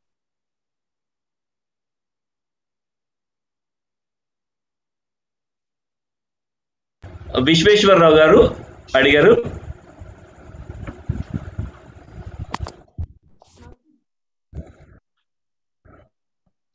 Hello sir ప్రైజ్ లాడనా? Yes, చెప్పండి. విజయవాడ నుంచి మాట్లాడుతున్నాను. లాస్ట్ ఫస్ట్ వేవ్లో we also victims of covid nineteen అన్న. మీతో మాట్లాడాను చాలాసార్లు టచ్లో ఉన్నా. Father and mother and co brother also affected covid nine ఈ డి త్రీ వాడడం వల్ల మేము అందరం బయటకు వచ్చాం. సో మేము కూడా చాలా మందికి గైడ్ చేస్తున్నాం అన్న. ఈ డి త్రీ గురించి ఎలా వాడాలి ఏంటి కోవిడ్ వచ్చిన వెంటనే ముందు ఎలా అని చేస్తున్నాం. రీసెంట్గా మా ఆఫీస్లో ఒక కొలీగ్ ఒక ఆయనకి డి త్రీ కోవిడ్ ఎఫెక్ట్ అయ్యారు వైఫ్ అండ్ హస్బెండ్ సో వైఫ్కి చాలా క్రిటికల్ అని చెప్పారు. డి త్రీ అడ్మినిస్ట్రేట్ చేసిన తర్వాత ఆమె బయటకు వచ్చింది. సో హస్బెండ్ కూడా ప్యారలల్గా తన చేత కూడా వాడిచ్చాము. బట్ ఆయనకి లాస్ట్ ఫోర్త్ మన్ ఈ మంత్ ఫోర్త్లో ఆయన ఎఫెక్ట్ అయ్యాడు. మొన్న కొంచెం ఇంకా టెన్ పర్సెంట్ ఉందని డాక్టర్స్ చెప్పారని మనకు చెప్పడం జరిగిందన్న. బట్ ఆయనకి ఏంటంటే ఇప్పుడు రీసెంట్గా మళ్ళీ ఫీవర్ సిమ్టమ్స్ రావడం మళ్ళీ నెక్ దగ్గర ఆయనకి స్వెల్లింగ్ వచ్చింది అన్న. దాని గురించి మీకు ఆల్రెడీ పర్సనల్ వాట్సాప్లో కూడా పెట్టాను ఆ రిపోర్ట్స్ ఆ ఫోటో కూడా. సో దానికి ఏం చేయాలి? మళ్ళీ ఇప్పుడు ఈ రోజు హాస్పిటల్కి వెళ్తే ఆ కొంచెం సివియారిటీ ఉంది మీరు హాస్పిటల్లో జాయిన్ అవ్వండి అని చెప్పారంట. ఈ డ్రగ్ ఫీవర్ అది. సో మళ్ళీ హాస్పిటల్లో జాయిన్ అవ్వండి అంటే ఈరోజు ఇప్పుడు ఈవినింగ్ జాయిన్ అయ్యారన్న. సో మీ సజెషన్ ఏంటి? మేము వాళ్ళకి ఎలా గైడ్ చేయగలం ఒకసారి చెప్పండి ఇది ఇటువంటి స్పెసిఫిక్ కేసులు unless we know the details it is impossible to talk about this అండి. అది చేయడం సాధ్యం కాదు. ఇంకోటి ఆ డాక్టర్ గారు వాళ్ళు ఉన్నారు కదా మెడికల్ ప్రొఫెషనల్స్ వాళ్ళు ఏం చెప్పారు? వాళ్ళ డయాగ్నోసిస్ ఏంటి అని చెప్పి ఒకసారి చూస్తే కనుక we can take a look at so మీరు ఆ రిపోర్ట్లు ఫార్వర్డ్ చేసామంటున్నారు. అసలు రిపోర్ట్లు ఏమి చూడడానికి కూడా నాకు ఒక ఇది ఆపర్చునిటీ దొరకలేదు. సో చూస్తాను. ఒకసారి వాట్సాప్లో మీరు తర్వాత పింక్ చేయండి. నేను చూసి దాని గురించి మాట్లాడదాం అప్పుడు okay thank you thank you మాట్లాడండి.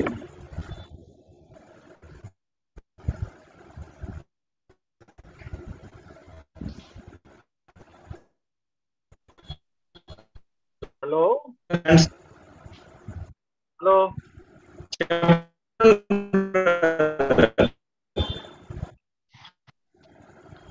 బ్రదర్ ఆ ప్రైజ్ లాడనా రాజరత్నం గారు బ్రదర్ అడగండి. లాస్ట్ టైం లాస్ట్ ఇయర్ నాకు జూలైలో వచ్చిందన్న కోవిడ్. ఆ మీరు నాతో డైరెక్ట్గా మాట్లాడారు డి త్రీ వాడమన్నారు. నేను మా వైఫ్ మా పిల్లలు కూడా వాడామన్నా మా వైఫ్ కూడా కేవలం డి త్రీ ద్వారా ఇంకా వేరే అంటే పాపకి పాలు ఇస్తుందని వేరే టాబ్లెట్లు ఏవి వాడకూడదని డి త్రీ ద్వారా ఆవిడ సేవ్ అయిందన్న బయటకు వచ్చింది నాకైతే అప్పుడు మీరు టాబ్లెట్ కూడా ఇచ్చారు. ఈ- ఈ ఎడమ వైపున హార్ట్ బీటింగ్ విపరీతంగా పెరిగింది. ఇప్పుడు అది కోవిడ్ తగ్గినా కూడా నాకు ఆ heart beating one thirty two అలాగా వచ్చి చాలా ఇబ్బంది పెట్టింది అన్న. అది ఇప్పటికి కూడా తగ్గట్లేదు. ఆ హార్ట్ బీటింగ్ ఒక్కోసారి బాగా ఎక్కువ వచ్చేస్తుంది. అది ఏ కార్డియాలజిస్ట్ చూపిస్తే అది అన్ని కూడా నార్మల్గా ఉన్నాయి. టెస్ట్లు అన్ని చేయించారు. లైఫ్ టెస్ట్ ఈ టుడీకో తర్వాత ట్రెడ్మిల్ ఎక్స్రేలు అన్ని ఈసీజీ అన్ని చేశారన్న. అన్ని నార్మల్ గానే ఉన్నాయి. ఒకవేళ మరి కోవిడ్ సైడ్ ఎఫెక్ట్ ఏమైనా ఉందేమో మీకు హార్ట్ బీటింగ్ వచ్చినప్పుడు ఈ టాబ్లెట్ వేసుకొని ఇచ్చాను ఇప్పటికీ అది నాకు రికవర్ అవ్వట్లేదు అన్న. ఓకే సో ఒకసారి మీరు అంటే దీన్ని కూడా ఆఫ్లైన్లో మాట్లాడదాం మనం. అదే అంటే మీరు విక్రమ్ గాని మురళి గారిని కానీ కాంటాక్ట్ చేస్తే ఒకసారి let's let's talk about this later ఇక అన్నా ప్రైజ్ లాడనా? యాక్చువల్గా డాక్టర్ గారు ఎనిమిది గంటలు దాటేసాము ప్రశ్న చివరి క్వశ్చన్ అన్నా. అన్నా నా ప్రైజ్ లాడనా చెప్పండి చెప్పండి. ఆ, అది ఏం లేదన్నా. జస్ట్ నాకు ఈ మ్యారేజ్ అయ్యి త్రీ ఇయర్స్ అయిందన్నా. ఆ, అది ఇప్పుడు వ్యాక్సిన్ వేసుకుంటున్నాను ఆ, వేసుకోమని చెప్పి చెప్తున్నారన్నా. వేరే వాళ్ళు ఉండి వ్యాక్సిన్ అన్నా? వ్యాక్సిన్ వేసుకుంటే ఏమన్నా అన్నా అన్నా వ్యాక్సిన్ వేసుకుంటే ఏమన్నా సెక్స్ సామర్థ్యం తగ్గిపోతుందన్నా? నాకు దాని గురించి అసలు ఐడియా లేదు ఈ ప్రశ్న మీద జవాబు అయిపోయిందండి.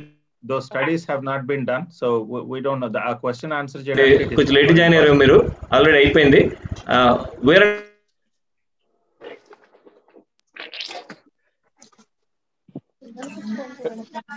భానుప్రసాద్ గారు చెప్పండి. వందనాలు సార్. మీ వాల్యుబుల్ టయాన్ని మాకు కేటాయించి దేవుని కృపను బట్టి డి త్రీ గురించి ఇంత క్లారిటీగా మాకు చెప్పి మమ్మల్ని మా మా ఫ్యామిలీస్ని మా చాలా వరకు సంఘాల్లో కూడా ఈ డి త్రీ గురించి మేము మీ ద్వారా తెలియపరిచాము మా సిస్టర్ చెప్తే మేము నమ్మలేదు. కానీ ఈ మధ్య కాలంలో మాకు ఈ కోవిడ్ అటాక్ అయిన తర్వాత మేము డి త్రీ యూజ్ చేసామండి హైదరాబాద్ మాది. దేవుని కృపను బట్టి మీ యొక్క సలహా దేవుని దేవుని ప్రణాళికలో మీరుండి మీరు మాకు గైడ్ చేయటం ద్వారా ఈ యొక్క డి త్రీ వినియోగించడం ద్వారా మేము చాలా కోలుకున్నాం. మీకు వందనాలు. దీవించును గాక. వందనాలండి. థ్యాంక్ యూ సో మచ్ అండి thank you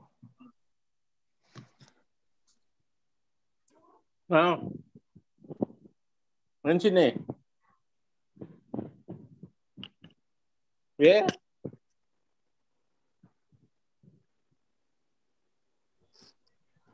Paul Sukumar Patnam గారు మీ క్వశ్చన్ అడగండి.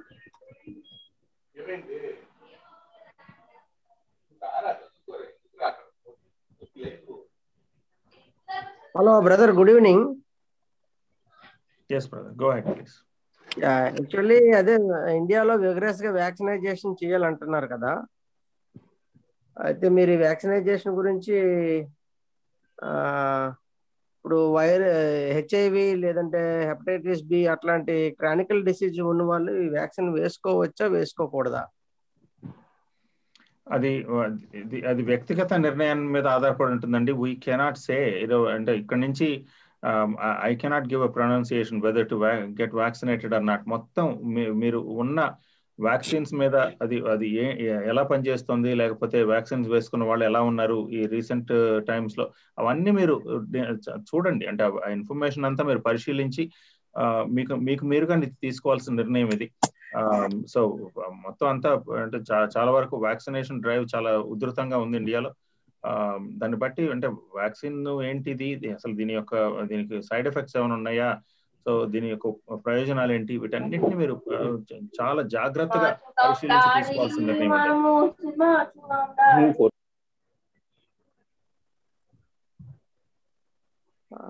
హలో? చెప్పండి.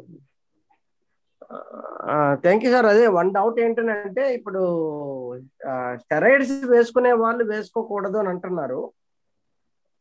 స్టెరాయిడ్స్ వేసుకునే వాళ్ళు ఏంటంటే ఇమ్యూన్ అంటే ఈ స్టెరాయిడ్స్ అనేవి ఇమ్యూనో సప్రెసెంట్స్ అండి. ఇమ్యూన్ సిస్టమ్ని సప్రెస్ చేస్తాయి కాబట్టి మేబీ అంటే వ్యాక్సిన్లు కానీ వీటన్నిటిని కూడా అంటే కొంతవరకు అంటే స్టెరాయిడ్స్ వేసుకునే వాళ్ళలో పేషెంట్స్లో ఇమ్యూనో కాంప్రమైజ్ పేషెంట్స్లో కొన్ని రకాల వ్యాక్సిన్లు వాడద్దు అనే చెప్తారు.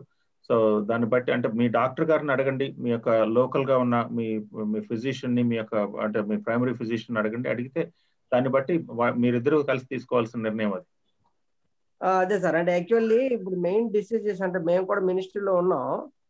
సో ఏంటంటే ఎట్లాంటి కాంప్లికేటెడ్ డిసీజ్ ఉన్నటువంటి వాళ్ళు భయపడుతూ ఉన్నారు. అసలు వాళ్ళు వ్యాక్సిన్ తీసుకోవాలని వారికి కౌన్సిలింగ్ ఇవ్వాలా లేదా వద్దా అనేటువంటిది సార్. ఒకవేళ భయపడితే కొన్ని రోజులు ఆగమని చెప్పండి. మొత్తం సేఫ్టీ ఇంకా డేటా అంతా బాగా వచ్చిన వచ్చిన వచ్చినంత వరకు మీరు ఆగమని చెప్పి మీరు చెప్పండి. చూడండి. అంటే దాన్ని జాగ్రత్తగా తీసుకోవాలి. ఏదేమైనప్పటికీ ఇది చాలా జాగ్రత్తగా తీసుకోవాల్సిన నిర్ణయం. అది మాత్రం మీరు గమనించి దాని దాని దాని పట్ల ఒక నిర్ణయం తీసుకోండి okay sir okay. Thank you thank you sir. Okay. Vikram anything else? Brother Vikram? Let's close అన్న. రైట్. చిన్న ప్రార్థనతోనే మనం క్లోజ్ చేసుకుందాం. మరి బయటకు వెళ్ళే ముందు మరొకసారి డాక్టర్ గారు మీకు నిండైన వందనాలు మా తెమిలియస్ తరపున తెలియజేస్తా ఉన్నాం. ఇటు ఇంకొక విషయం కూడా వీక్షకులు గమనించండి. ఇది మనకి రికార్డింగ్ అయింది. సో రికార్డింగ్ ఎవరికైనా కావస్తే కనుక లింక్ మీకు పంపిస్తే. మీరు కంగారు పడక లేదా మిస్ అయ్యామనుకోండి కంగారు పడకండి. ఇంకా కొంతమంది చేతులు లెగిస్తున్నాయి కానీ మరి మేము చేతులు జోడించాల్సి వస్తుంది. ఎందుకంటే టైం అయిపోయింది కాబట్టి. ఆ డాక్టర్ గారు ఎప్పటికీ ఇరవై నిమిషాలు దాటింది. ఆయన టైంని మమ్మల్ని క్షమించండి. ఇంకా ఈ యొక్క దీంట్లోని తప్పకుండా మీకు నెక్స్ట్ సెషన్ ఒకవేళ దేవుని చిత్తగిస్తే డాక్టర్ గారికి సమయం దొరికితే మనం ఇంకా ఇంకో సెషన్ కూడా కండక్ట్ చేయడానికి ప్రయత్నం చేస్తాం. అయితే ఈ మధ్యలో ఇంకేమైనా మీకు డైట్స్ డౌట్స్ వస్తుంటే కనుక మీరు ఏం చేయండి అంటే మన యొక్క విక్రమ్ కానీ బ్రదర్ మురళిని కానీ సంప్రదించండి. మా తెమిలియోస్ పేజ్లోని వారి యొక్క నంబర్లు కూడా మీరు వారిని సంప్రదించవచ్చు మీరు ఫోన్ చేసి వారి యొక్క నెంబర్లు తీసుకొని దయచేసి ఈ యొక్క విషయాలు తెలుసుకోవాల్సింది కోరుతున్నాను. మరొకసారి వీక్షకులందరికీ ఆ, ప్రభు పేట వందనాలు తెలియజేస్తున్నాను. చాలా సందేహాలు ఉంటాయి. ఎందుకంటే భారతదేశంలోని ముందు ఒకవేళ విధంగా చెప్పాలంటే ముందు సందేహాలు పుట్టి తర్వాత మనం పుట్టేమేమో అని అనిపిస్తుంది కొన్నిసార్లు. అంటే పాపం వచ్చిన తర్వాత ప్రపంచంలోకి. సో మరి డాక్టర్ గారికి డాక్టర్ గారి యొక్క కుటుంబానికి ఎందుకంటే ఆయన అక్కడ కూర్చోడానికి అనుమతించకపోతే కనుక పని జరగదు నాకు తెలుసు. మరి దేవుని యొక్క మహాకృపను బట్టి ఆ కుటుంబం కూడా ఇచ్చిన కోఆపరేషన్ని తన యొక్క ఆ- ఫార్మసీ సంస్థ వారు తను రన్ చేస్తున్న వారు కూడాని డాక్టర్ గారిని కొంతసేపటికి వదలడానికి ఎందుకంటే ఆయన బిజీగా ఉంటారు వదలడానికి ఇష్టపడ్డారు. వారికి కూడా ధన్యవాదాలు తెలియజేస్తా ఉన్నాను. థ్యాంక్ యూ సో మచ్ నా ప్రార్థన చేసుకుందాం ప్రార్థన చేసుకుని మనం ముగించుకుందాం. అందరూ తల ఉంచండి కళ్ళు మూసుకుందాం చిన్న ప్రార్థన చేసుకుందాం. ప్రేమగల తండ్రి దయగలిగిన మా ప్రభా మీకు స్తోత్రాలు వందనాలు చెల్లించుకుంటున్నాం తండ్రి. ఈ యొక్క సాయంత్రకాల సమయం నుంచి మా మధ్య మీరు నేర్పించిన ప్రతి విషయాన్ని బట్టి మీకు స్తోత్రాలు. డాక్టర్ భాను గారిని దీవించండి ఆశీర్వదించండి వారి యొక్క తండ్రి కుటుంబాన్ని దీవించండి వారి యొక్క ఫార్మసీ సంస్థని ఆశీర్వదించమని ప్రార్థన చేస్తున్నాను నాయన. ఇంతవరకు మీరు చేసిన సహాయం బట్టి స్తోత్రాలు. తిరిగి మేము కలుసుకునే పర్యంతం మీ కృపాసనేది మాకు తోడుగా ఉంచమని ఏసు నామంలో అడిగి వేడుకొని పొందుకునే నాము తండ్రి. ఆమె తండ్రి కుమార పరిశుద్ధాత్మ త్రేక దేవుని దీవెన ఆశీర్వాదం మనందరినీ ఈ యొక్క పరిస్థితి నుంచి బయటపెట్టి తన సాక్షులుగా నిలవబెట్టుకొని తన సేవలో వాడుకున్నాను గాక. ఆమె మీ అందరికీ వందనాలు. ప్రభు మిమ్మల్ని దీవించిన డాక్టర్ గారు once again God bless you. మీకు గుడ్ మార్నింగ్ మాకు గుడ్ నైట్.